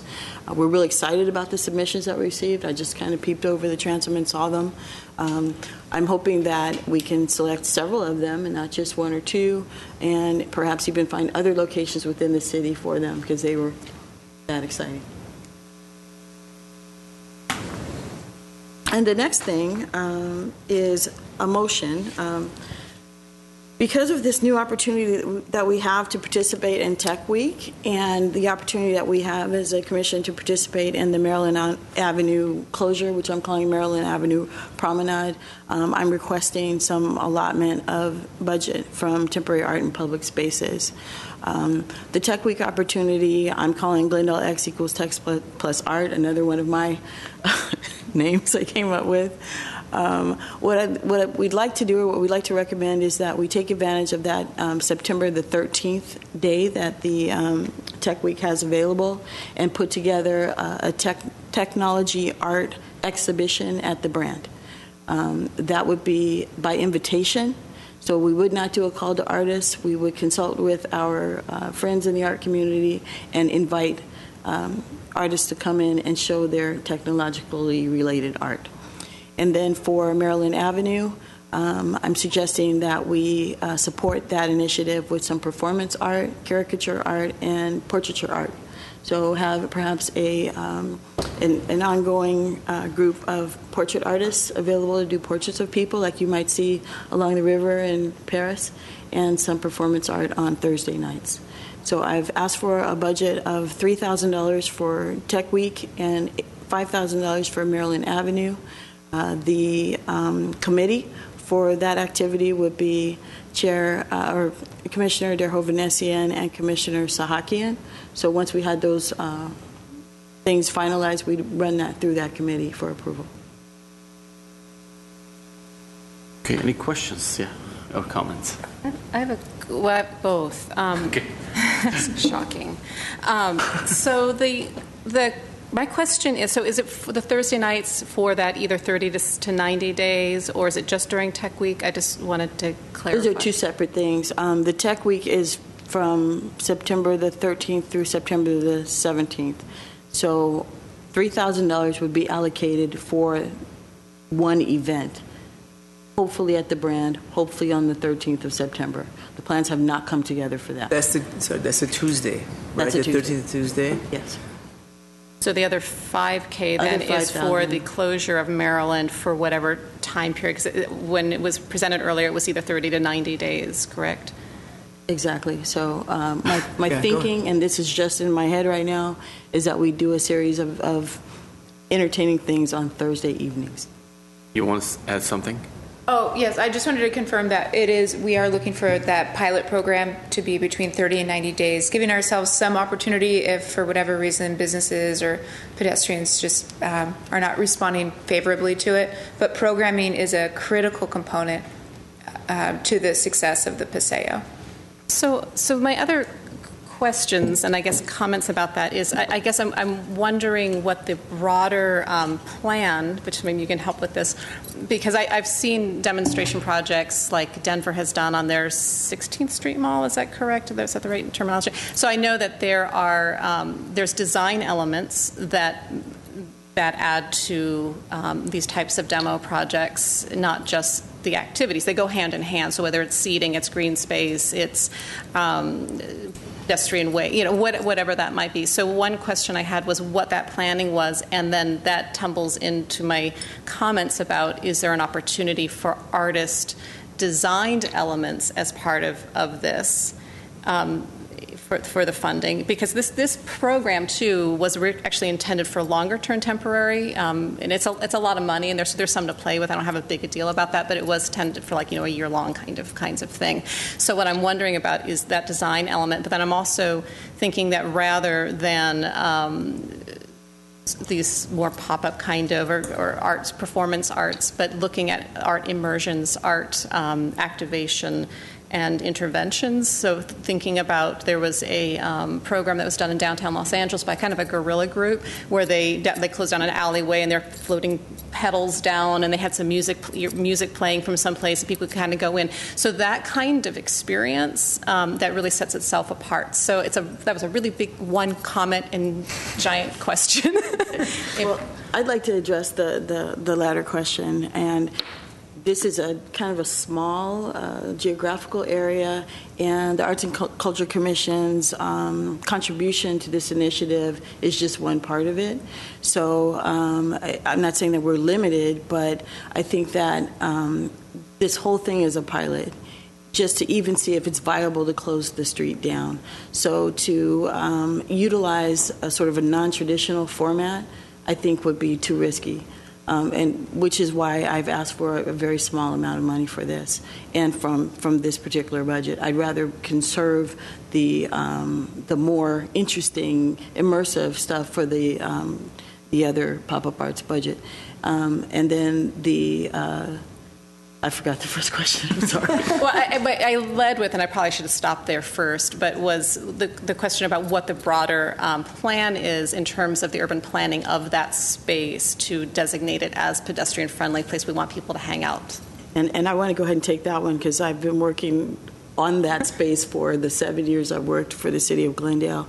And um, there are so many problems with closing Maryland that um, the fact that Jennifer's gotten this far is just phenomenal, and that this 2,500 square feet of that street um, has been reserved for this. So um, there's there's all kinds of civil engineering issues that go along with this pedestrian is- issues, traffic issues, et cetera. So the, um, the long-term vision for Maryland Avenue was contained within the uh, downtown specific plan. And the downtown specific plan never really intended for Maryland to be closed down. But it's something that the business community has asked for over and over again. So, so I will say that the, the long-term urban design plan had, did not include a closure of Maryland Avenue. It only included activation of Maryland Avenue. So um, I do believe that within our public art master plan, we will get some uh, suggestions for activating Maryland on the very wide sub, uh, side sidewalks there. They're, they're you know 10 foot sidewalks there. I don't think that um, that closing Maryland down for art would be that's, that's not what I'm, I'm my question is that there are national examples of, of this kinds of temporary um, projects and enclosures and, and looking at urban planning. There's great examples through um, it's creative placemaking through the NEA. So, so my question is: uh, Is the city planning on you know this is these are just sort of trite examples, but temporary seating, a little pocket park, these things that activate and that are proven to sh- to show that there's a to draw people and to make them want to stay. And then the programming is what keeps them there, whether it's food or it's music or it's some sort of act activation. So on that, uh, again, with the idea in mind that this is a, it's a pilot program, so it's a careful balance of we don't want to spend too much money for something or have it be too permanent when it may not may not be successful, or hopefully it will be wildly successful, and then we can really start talking about um, some of the artist design elements within it. But uh, for the time being, what we're planning is uh, pairing up par- or partnering up with Downtown Glendale Association using the planters that they have, the large, like 700 pound planters, serving as the barriers um, for to really. Um, to block off the traffic. So we would have about eight of those planters, and then we would have down we would have seating. We would have tables and chairs um, throughout it, and that's that's really on the um, the design side of it, uh, really what we're looking at, and also putting some temporary yard games, uh, some of the bean bag tosses, um, something that that it, it, could almost be a passive passive park experience that's really what we're looking at for now. Uh, I agree with you. There are some wonderful examples across the country and uh, globe on what people have been able to utilize even a similar space with. Uh, so I think as a starting point, we just want to see if folks are naturally drawn to this area, even if you give them somewhere to sit. Uh, because again, that street is beautiful. It's shaded. It, you are naturally invited to sit if there was somewhere to sit. So that's what we want to see at first, and then with the with the traffic, if folks will be able um, to handle that uh, without having um, large-scale pandemonium when a uh, you know critical pathway is blocked off. So that's just what we're looking at now. Um, are those those two elements or three elements? Um, also so wanted I to will- I also, also wanted to add that um, community services and parks is also working on this. Um, they'll be activating that space over the weekend with family-friendly activities and games and, and stuff like that. This, I just want to add that this is only the report part. It's not a agenda uh, point. So therefore, if we would like to discuss more into this uh, specific subject, then we need to put it on the agenda and discuss it. Well, we have a motion to give, allocate funding. Yeah, but so- the motion is only about the dollar figure, therefore we would have limit to our uh, to uh, what we would have is if we have a full discussion, then I would add I would need a full uh, members. I mean, Sahakian must be here. Then also there are many other issues we need to discuss and bring up points. Then my suggestion will be is if we need to allocate this money today. Uh, my, I personally, this is the first time I'm hearing this, so therefore I would, de- I would need to do more research and then come up with my own questions to, to deliberate them. And this is not enough information for me. Uh, therefore, I would be reserve myself and say stay away from voting to allocate this money now. But is that the point? Uh, Is that what it is? Well, the point is that these are opportunities that just came up quickly, and that if we don't move on them, we We'll won't lose have them. time. Um, and that's why the uh, the proposal is very conservative um, in terms of the amount of money that we're planning to spend. Um, I think if we talk about this any longer, we're going to lose our opportunity. Um, All right. I mean, if it's a pilot and it's Tech Week, I think it should be tech related. You know, I don't understand why we would have painting, you know, portraits or like That- kids that's games. a separate initiative. Those are those are two different um, initiatives. One one happens to overlap the other, but they're two separate um, programs. The Tech Week program is Yeah, but so but we are we want to be involved in Tech Week, right? I thought I thought this was part of our involvement in Tech Week, or no? It's got nothing to do with the involvement in Tech Week. no the, the Tech Week involvement would be the event at the brand, and it would be focused on technology art. The second But, activity, but nothing is happening at the brand for Tech. Tech Week is all downtown, right? That's the, that's my other question. I don't understand why we would do something at the brand where everything else people are walking from lecture to lecture. It's all happening downtown. Why wouldn't we do it downtown? So most of the activities for Tech Week are centered around um, downtown, uh, along Brand in Maryland. Uh, we are also working with Glendale Community College, and they'll be hosting events on Friday afternoon, or excuse me, on Friday morning at GCC. The original intent was to try to spread events throughout the city, uh, but as we are starting to, to book some of these events and working with the employers as well, uh, there just is a natural tendency to want to uh, congregate the activities around downtown. But for Tuesday, um, since we, other than the one event that we do have in the evening, uh, there really is an opportunity to get folks away from downtown and into another part of the city. Uh, and again, that's something that, that ideally we would, we would like to try to promote as well. So I can see on the one hand, yes, many of the activities are centered around downtown, but it could also be an opportunity on the Tuesday to get folks to enjoy another wonderful part of the city as well. So it's really, uh, I, think it's a it's a judgment call on on what the commission would feel would be more appropriate. But I could see advantages to both. Yeah, I mean, certainly we are all very interested in activating uh, brand, right? We want to bring as many people, as many things going on as possible, the music series and other things. But if, if the focus of this of this whole event is downtown, I think it's going to be it's going to be more difficult. It's difficult to bring people to begin with, but to bring them into one space and then ask them then to go someplace else, also, I think it's going to be doubly more difficult.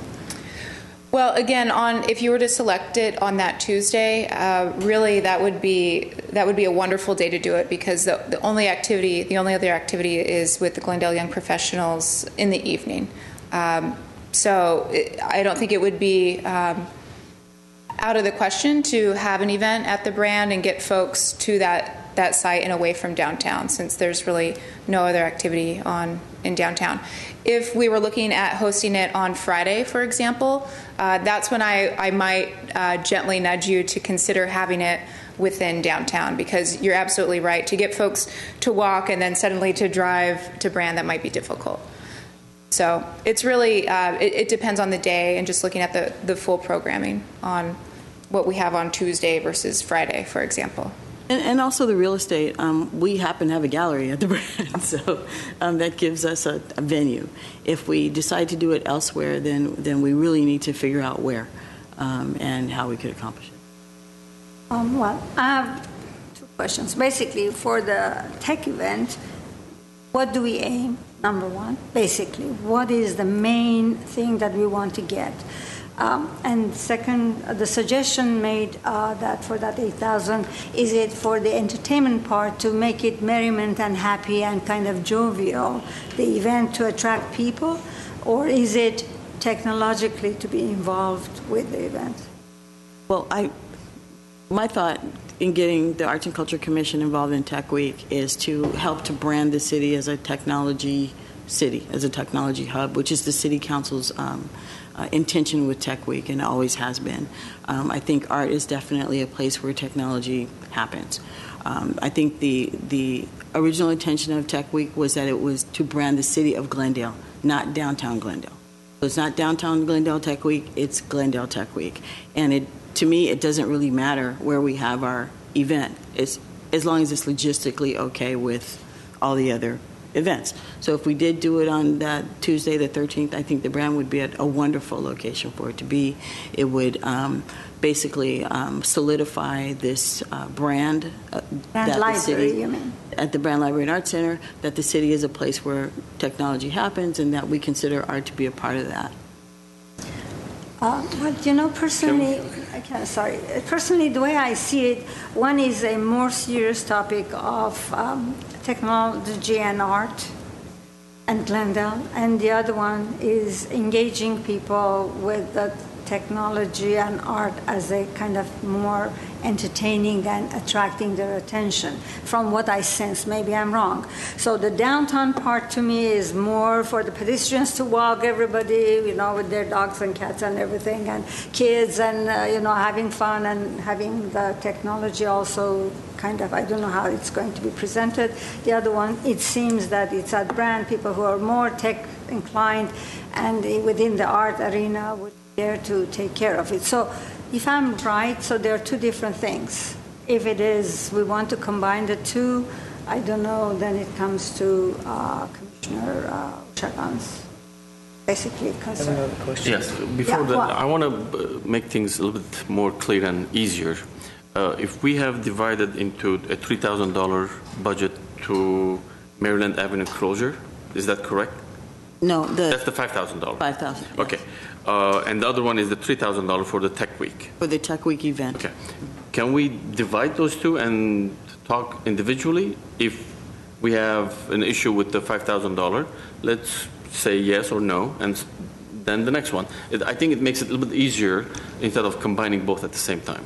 Uh, My opinion is the Maryland issue, it's pilot program with a minimum amount of money investment. It might be a good way to start. If we can discuss that and then vote on it, and then we'll go next. Does that make sense?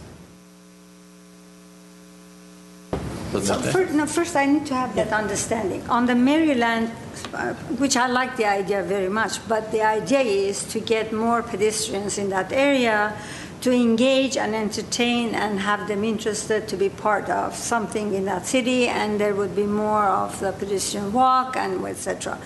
Uh, the other one in my mind is a more serious idea of technology and art as, a, as Glendale being engaged in that. So if that would be the two different things, then in that case, we need to decide the money allocation for one for one purpose and the other one for the other. Well, that's the whole point. yeah. So if, if we are clear on that, right? So, okay. Okay. So we just talk about Maryland now, and then we'll talk about. Yeah. So I'm it's still not clear to me. Pilot.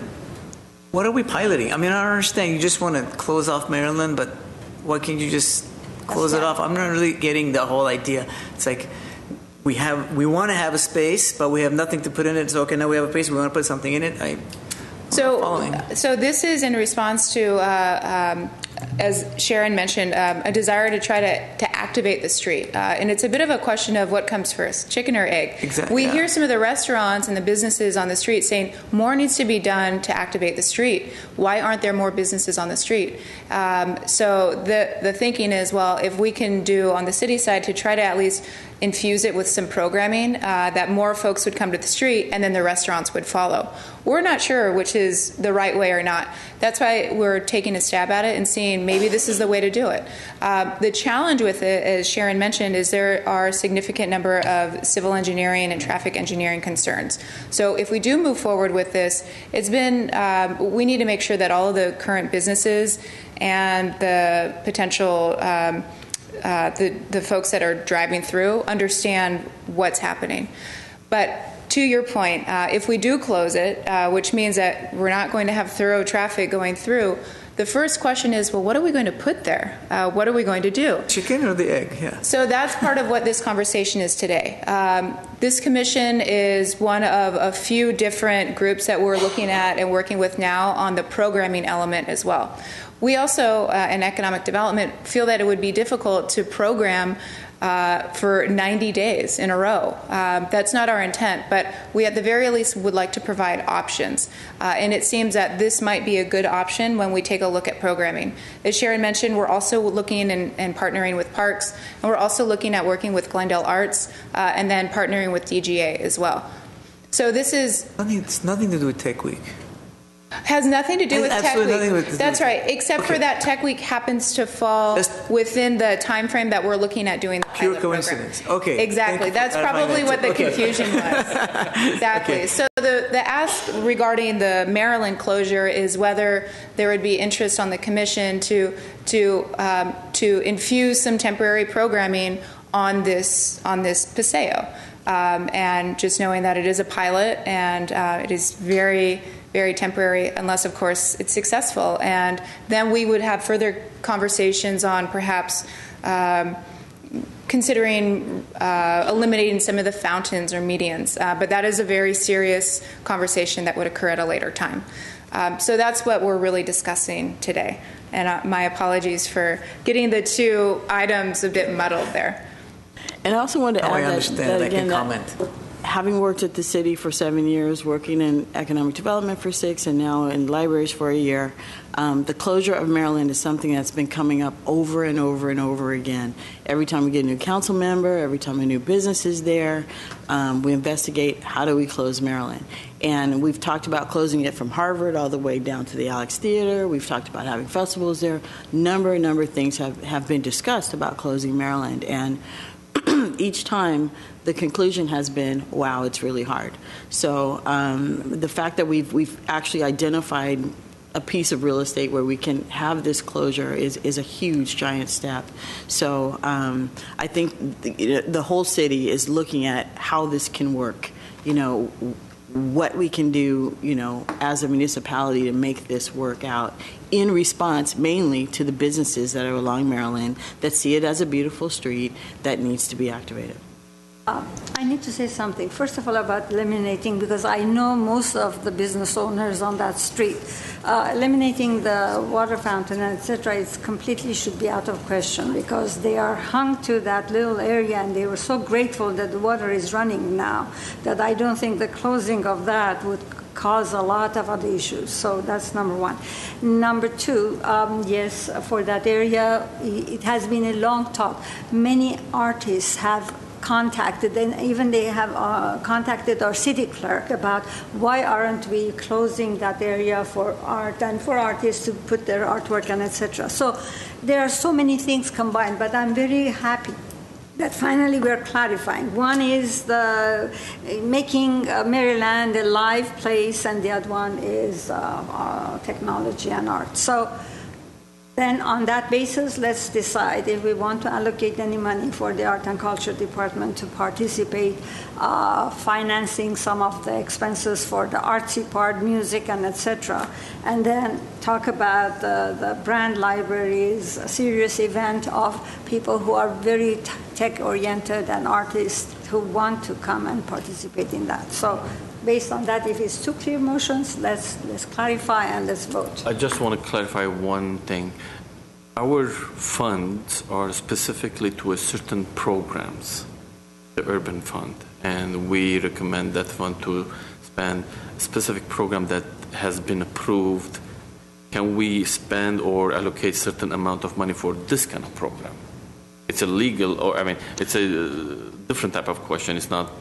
Uh, go ahead. Yeah, the- well, the reason that it took so long to get this question to you was the whole legal aspect of it. You know, whether or not we could allocate um, money from which budget would be appropriate, et cetera, et cetera. Um, and then, you know, which budget could afford it. And, um, and then if we do do a program, and this is pretty quick for us, you know, can we circumvent the call to artists um, process and simply make it invitational?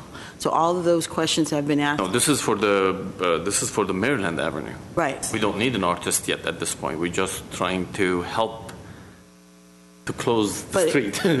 in, a But way, in terms of- in a way, in a What way. do we put- it is. that's the whole Artists and question. What do we musicians put- and Et cetera, we do talk about that. Right. You know, those those are things that we had to talk to legal about whether or not we could participate, whether or not we had time to participate, and and the way you know, just to, to make a, a long story short, the way that we can participate is that we can ask this commission for an allocation from this particular budget, and we can invite artists to participate in this activity without going through the call to artists thing. Um, the reason that it's it's in the same. Uh, Category. subject category here is because the legal answer is the same for both. Yes, we can allocate it out of temporary art and public spaces, and yes, we can do it on an invitational basis. I see. Okay. All right. Any? Let's narrow down our comments because we've discussed for almost half an hour now. Um, Yeah. Okay, so now that I understand, I think, I, I'm totally for it. I think we should support that. I, I've always wondered why Maryland doesn't get closed off and things happen in Maryland. So Avenue seems like a perfect place that you can close off and bring a lot of people, right? But I really think we should contribute in the way we want to contribute. Contribute in the AHA, AHA fashion. Like AHA should maybe be the umbrella in which we we do programming in that space that's based the way we want to program. If we want to do tech, we do tech. We don't do something that is not in our master plan, for instance, right? Or it doesn't have to be the master plan uh, signed off, but we should do something interesting. We should do something innovative. We should do something a little bit different than what somebody would if they walk down any US, you know, Main Street USA, see it, I see something different in Glendale. I would say I think that should be our whole attitude and approach towards it, and I'm totally for supporting that. Well, I think under the budget, either it could go under the the pop-up or it could go art in public places. So either way, we can kind of direct it, but now the content, that would be another issue. If we do have enough time to sit and plan and to invite people who could provide that, that would be a situation that needs to be discussed. okay. Um, go ahead, and I want to make. So, from my standpoint, I, I, I think it's great. I mean, I think it's terrific that, that there's some actuality happening around the closure. I wish it was a little bit further, starting a little later, because the things that we're talking about would lend themselves better. Um, but so I have no problem with allocating money to this. I and I don't even really care which. I mean, it comes out of the one that we have the largest amount. It's fine. It makes sense. My is is very close to um, Commissioner Oshagan. Is that it's all about what it is. I don't want it to be for what you would see on any main street. I would want I would agree that it either should be something technological. I think immersion, I think it's a great opportunity to draw people in in these ways that people are transform uh, transformational. I think that's the word I would probably utilize this first because if, you want to make the goals of actually bringing people there, which hopefully the restaurants and such are doing, the, the question is how do you keep them there? And so the games are fun. All of that is it's great. That, that's all. I, I, even maybe it's an artist-made game in some way or involves the arts or and I think doing some sort of temporary seating or something that's designed by an artist that can then be utilized someplace else if this doesn't stay closed, and we can make it maybe at City Hall, and out here we've got the artist thing is out here, and they can come and do something. So I think it needs to be immersive, and I think it needs to be more thoughtful in terms of artist participation and design in terms of urban design and how you incorporate those. Otherwise, I absolutely will not support putting money towards it. I think we consumed all our opinions with regarding this, this Maryland Avenue. Um, Are we ready to vote? I mean, Well, I'd just like to add one thing um, to um, Commissioner Deaver's um, comment. Um, Basically, what we're asking for now is an allocation of funding. If we are unable to put together a successful or, or interesting, engaging, immersing program, whatever, within that amount of money, I think we just wouldn't do it. Um, so what we're asking for is the permission, really, just to get started. Yes. Um, I, you know, I mean, it's a short amount of time that we have to plan, and we're not exactly sure how much time that is for the Maryland Avenue closure because all that hasn't been finalized. But I just want to get ahead of that and see if this commission would support an allocation of $5,000, which I, I think is, is the, the minimum that we would need. Um, if, as this program develops, if we have to come back to this commission and ask for more money, bow out, or present something else, fine. But I, I just think we need to get started, and I, and I, I felt, you know, my professional opinion was $5,000 is a good place to start. okay. Um, So let's vote. Is it easy? I mean, are we ready? I just, I think we Okay, are. Actually, one, one more question. So when will this come, so let, assume, let's say we voted and said, great, let's lose the money. So in terms of the timing of, of how it would come, would come back and understanding kind of where you all are going with it all, what the broader context of it is, because I think that has a lot to do with what we can do if it happens in August or if it con- continues on through October and there's something new, a new element. I just, I just want this to be successful. It's really why I'm so passionate about it. And I just think having, even if it's more money or if it's the, ti the right type of thing, and I just don't want it just throwing money at something that's going to go poof. Well, you, you do have a committee um, for this, which are um, Commissioner Derhovanesian and Commissioner Sahakian. So they will be your eyes and ears to make sure that your feelings and thoughts are represented. Um, and uh, and Jennifer, you have a very aggressive professional here that's going to um, take care of all the technical aspects of making this space ready. So um, I, I don't think anybody who's involved in this knows exactly what's going to happen, when, how, et cetera, but it's just, it's coming together now. And with all these different partnerships, Jennifer's able to move forward. So if everybody says, well, maybe, then we can't get anywhere. So we kind of have to jump in this uh, boat or not. Uh, To the specific question as far as time frame, we are looking at doing this as quickly as August 15th or mid-August. Wow. If, if all goes well. Uh, Part of this is that we also don't. Three weeks. That's tomorrow. We, al- we also don't want it to go too far into the holiday season, um, if that would have some sort of impact on traffic. Uh, But this is also something that we're, we're getting um, um, direction that we need to, to work on this quickly, and, and there's been many logistic uh, parts to it. So that, that's our, our, that's our target date. But like you, I'm very passionate and uh, committed to this project and want it to succeed as well. So I appreciate uh, your similar passion for it. Okay, let's vote. Are we ready? What's the motion? The motion. The motion is to approve a new allocation of $5,000 from temporary art and public spaces for cultural programming for Maryland Street closure. All right. Commissioners Derhovanesian? Yes. Well, we have to put it. Oh, and then Second commission. Who made the motion? I didn't hear who made the motion. We, that's the motion that's uh, being proposed, but someone needs to make it. Yeah. I make the motion. Okay. And then now we need a second. Second. I'll second. Okay, now we can vote. Commissioners Derhovanesian, Yes. Beaver, Yes. Oshagan, Yes. Commissioner Sahakian is absent, Chairperson Sharikian. Yes. Okay, now we can talk about the allocating the $3,000 to Tech Week uh, in Brand Library. Any comments and questions? And before you um, begin your discussion or deliberation on that, just wanted to emphasize that that also is conceptual. The Brand Library and Art Center uh, staff is really overwhelmed with projects. Um, This would have to be an invitational. Uh, We we definitely would have to reach out to our community and and find those exciting technology art projects that already exist. Um, Perhaps invite those artists to come and show their art on video at the Brand Library and Art Center was the, um, the to me, the the only venue where we could really pull this together in this amount of time. Um, if we- What date are we looking at? September the 13th. Only one day. Yes. Can we move that date? It's this is sorry. It, it's a like a like an hour long, two hour long presentation of work, right? Or or are you? Or My something thought was else? that we'd have several artists presenting their work and that it could be an all-day thing, maybe from An 10 all-day 4. thing. Um, So we, we can't call it a panel because uh, we are not um, allowed to host panels within our uh, guidelines, but we can Really? host an, expi- an exhibition, yes.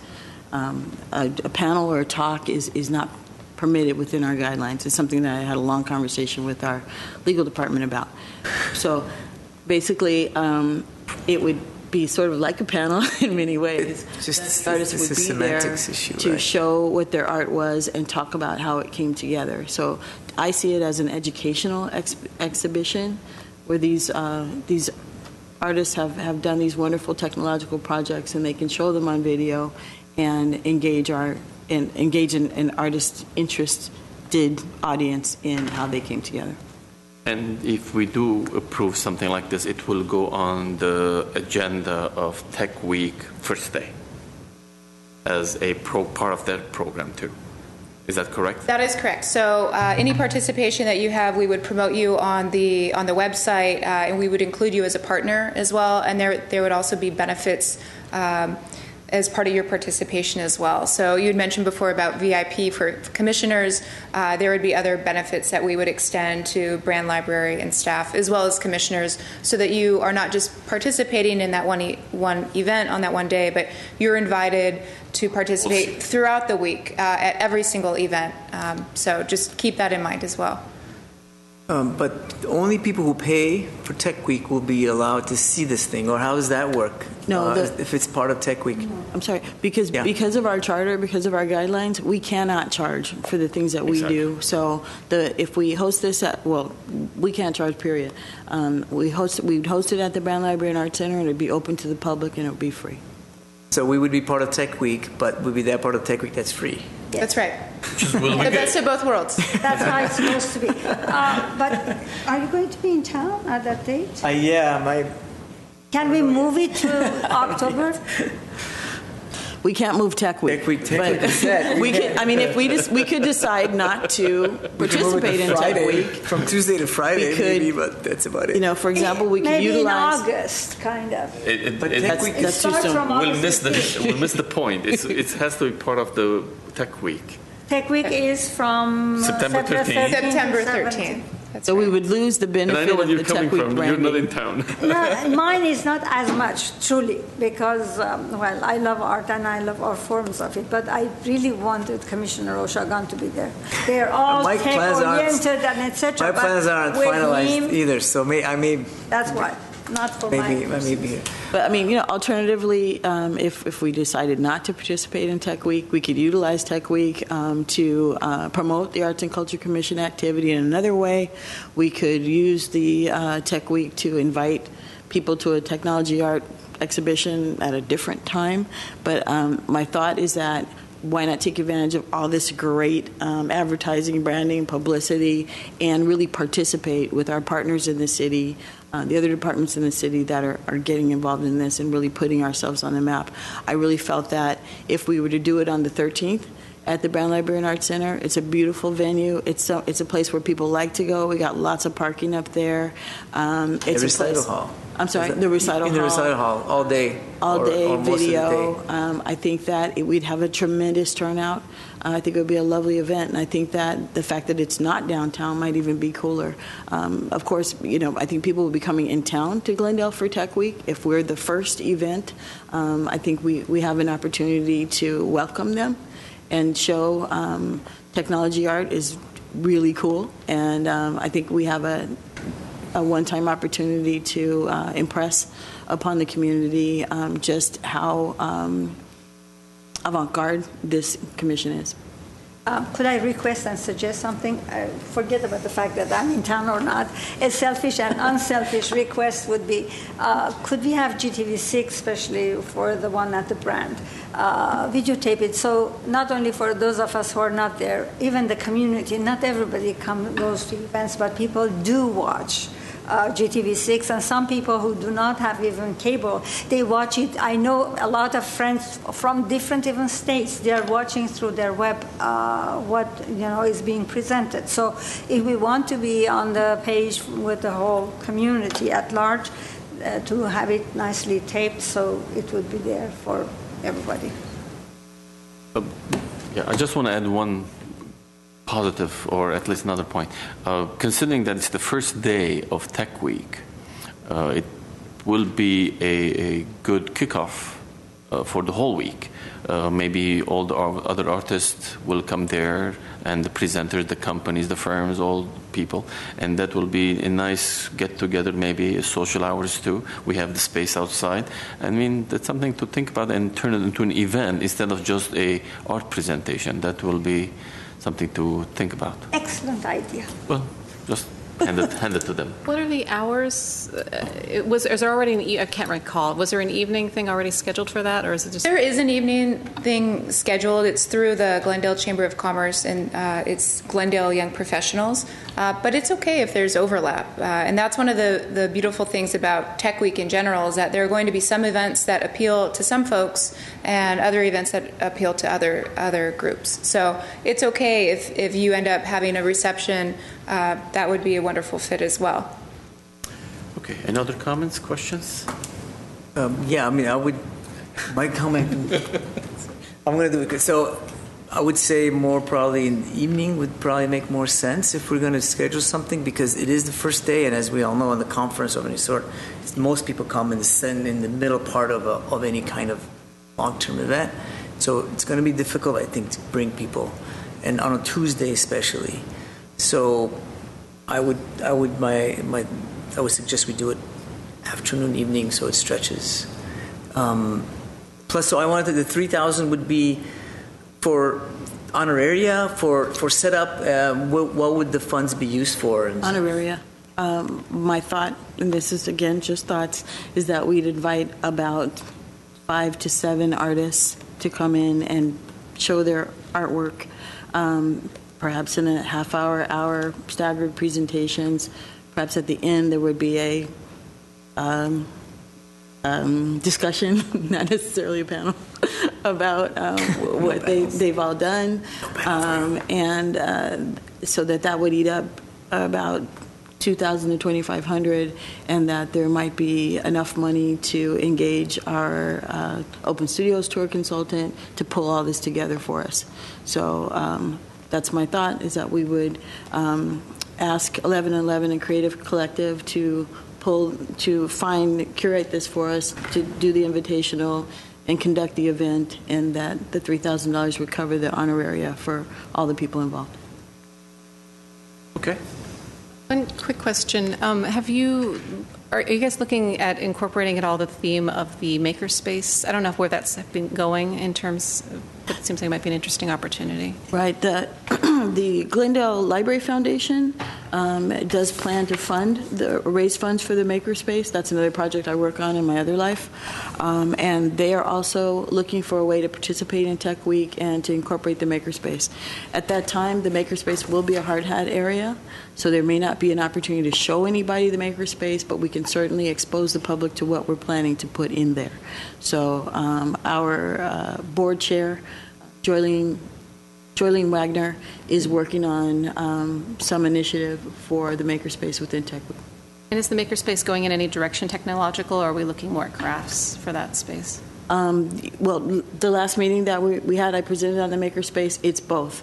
Um, So there would be technology there, everything from 3D printing to animation graphics, but also crafts, sewing machines, textiles, laser cutters for for sewing, um, small jewelry craft, et cetera. It's a small space, so all those things would have to be layered in, Right. but um, Yeah. but I- both I- is the answer. Cool. And I was just thinking in terms of you're calling it an exhibition and we're bringing in artists and giving them stipends to be able to, to wrap that in thematically in terms of, you know, what is a makerspace? What are the types of programming? Some examples of maybe student works, things like that, that in progress of, of the making of and not just the presentation of the, you know, what they've done. Anyway, it's just a thought to throw out there. Yeah, the makerspace, you know, of course, it's a project I'm very passionate about because I'm I'm in charge of it. But it's um, it's it's a little early for, for us to be working on it. We're still finalizing the elements. We're still finalizing the budget for the uh, the program elements of it. So it is a little early, but we do want to take this um, this opportunity with Tech Week to involve the community and, and first of all understanding that we're going to have a makerspace, finding out what they want in that makerspace and at what levels. We we sort of know what the the roster of of, of um, of equipment and technology we want to have in the makerspace. Question is now what level. So we know we want to have sewing machines. Do we want to have industrial or do we want to have, you know, regular commercial? Uh, we know we want 3D printing, but do we want, you know, the, the full enchilada or just a basic unit? So um, um, that's where we are with the, the program in the makerspace. And just to elaborate on the, the panel that we're looking at folding in the makerspace discussion. So we're looking at um, on Friday afternoon, we would have a topic called Space Matters How Design Fuels Innovation and Community. And we would have folks from WeWork, which is a co working space, uh, representative from uh, who's working on the Space 134 project, and then uh, possibly the architect um, to talk about makerspace and other design and um, even, even fiber elements on that. So I think that's a perfect way to plug in what we're doing uh, on that side. So are we talking about Maryland again? No, no, no. No. Okay. This is a separate panel during Tech Week, Something different. but something different. Okay. Would you please read the motion again? Okay, the We motion, can, uh, the second motion would be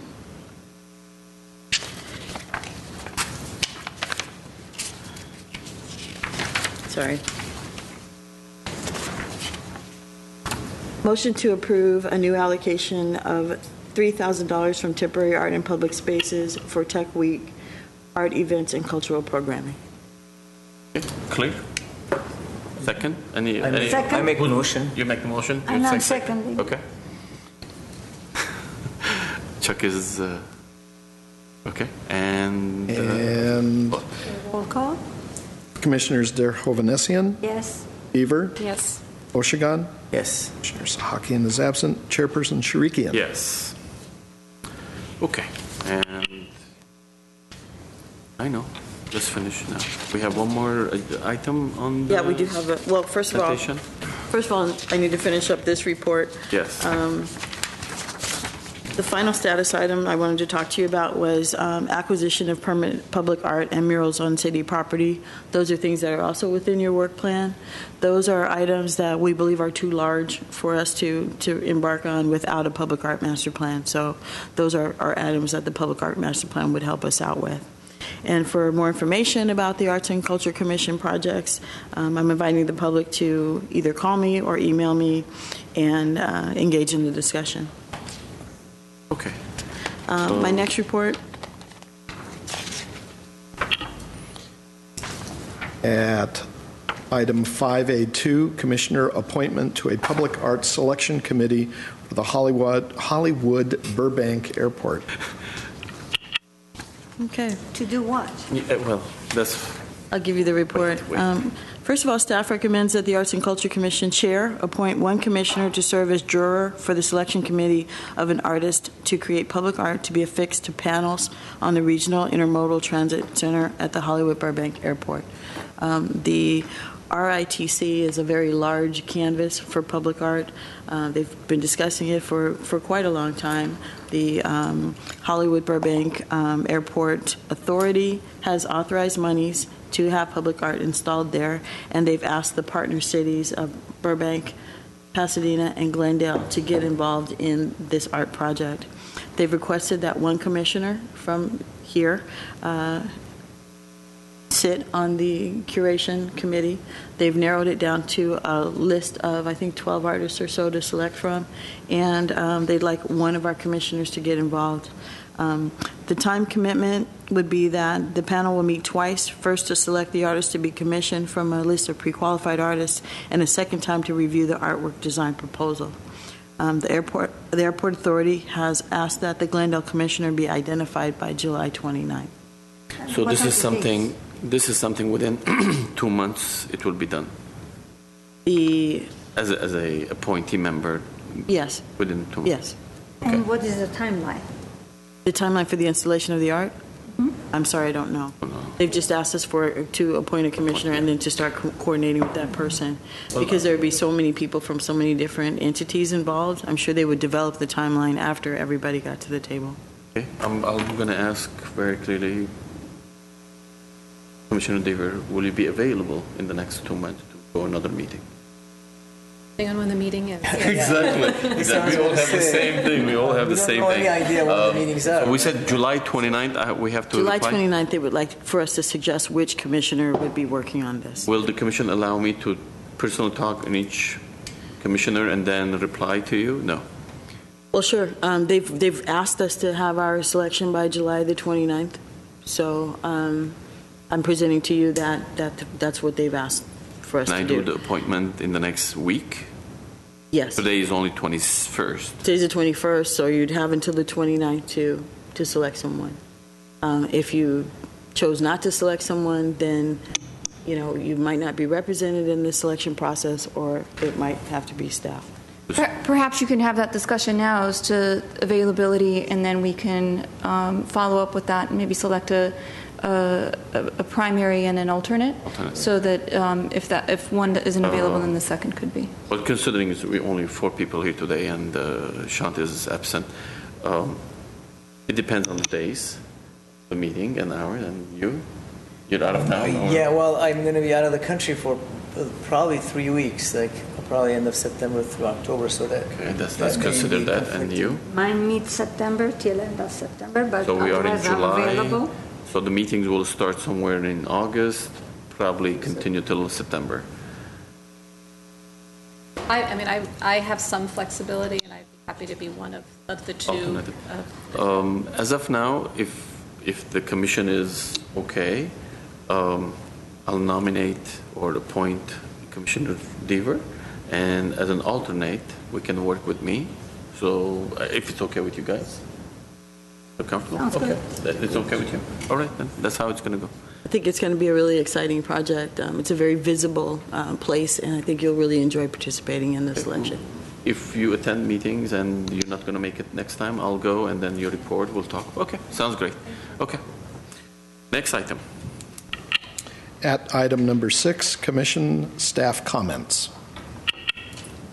Any comments? Any- I do have one staff comment. Okay. I'd like to thank this commission for all your thoughtful um, consideration of all the things that we're doing. You know, we're working really hard to to bring your um, your vision into fruition, and we really appreciate the level of engagement and the level of trust that that you've given us in getting all this done. Um, we're a small staff, but we're energetic, and I just wanted to uh, express on behalf of Chuck and Yvonne and everybody in the office that we really, really appreciate your enthusiasm and your eagerness and openness to work with us. Sounds great, thank you. Any other comments from commissioners? All right, and the next item. At item number seven, written communications. Any? None. And next item, This item will be adjournment. adjourned meeting.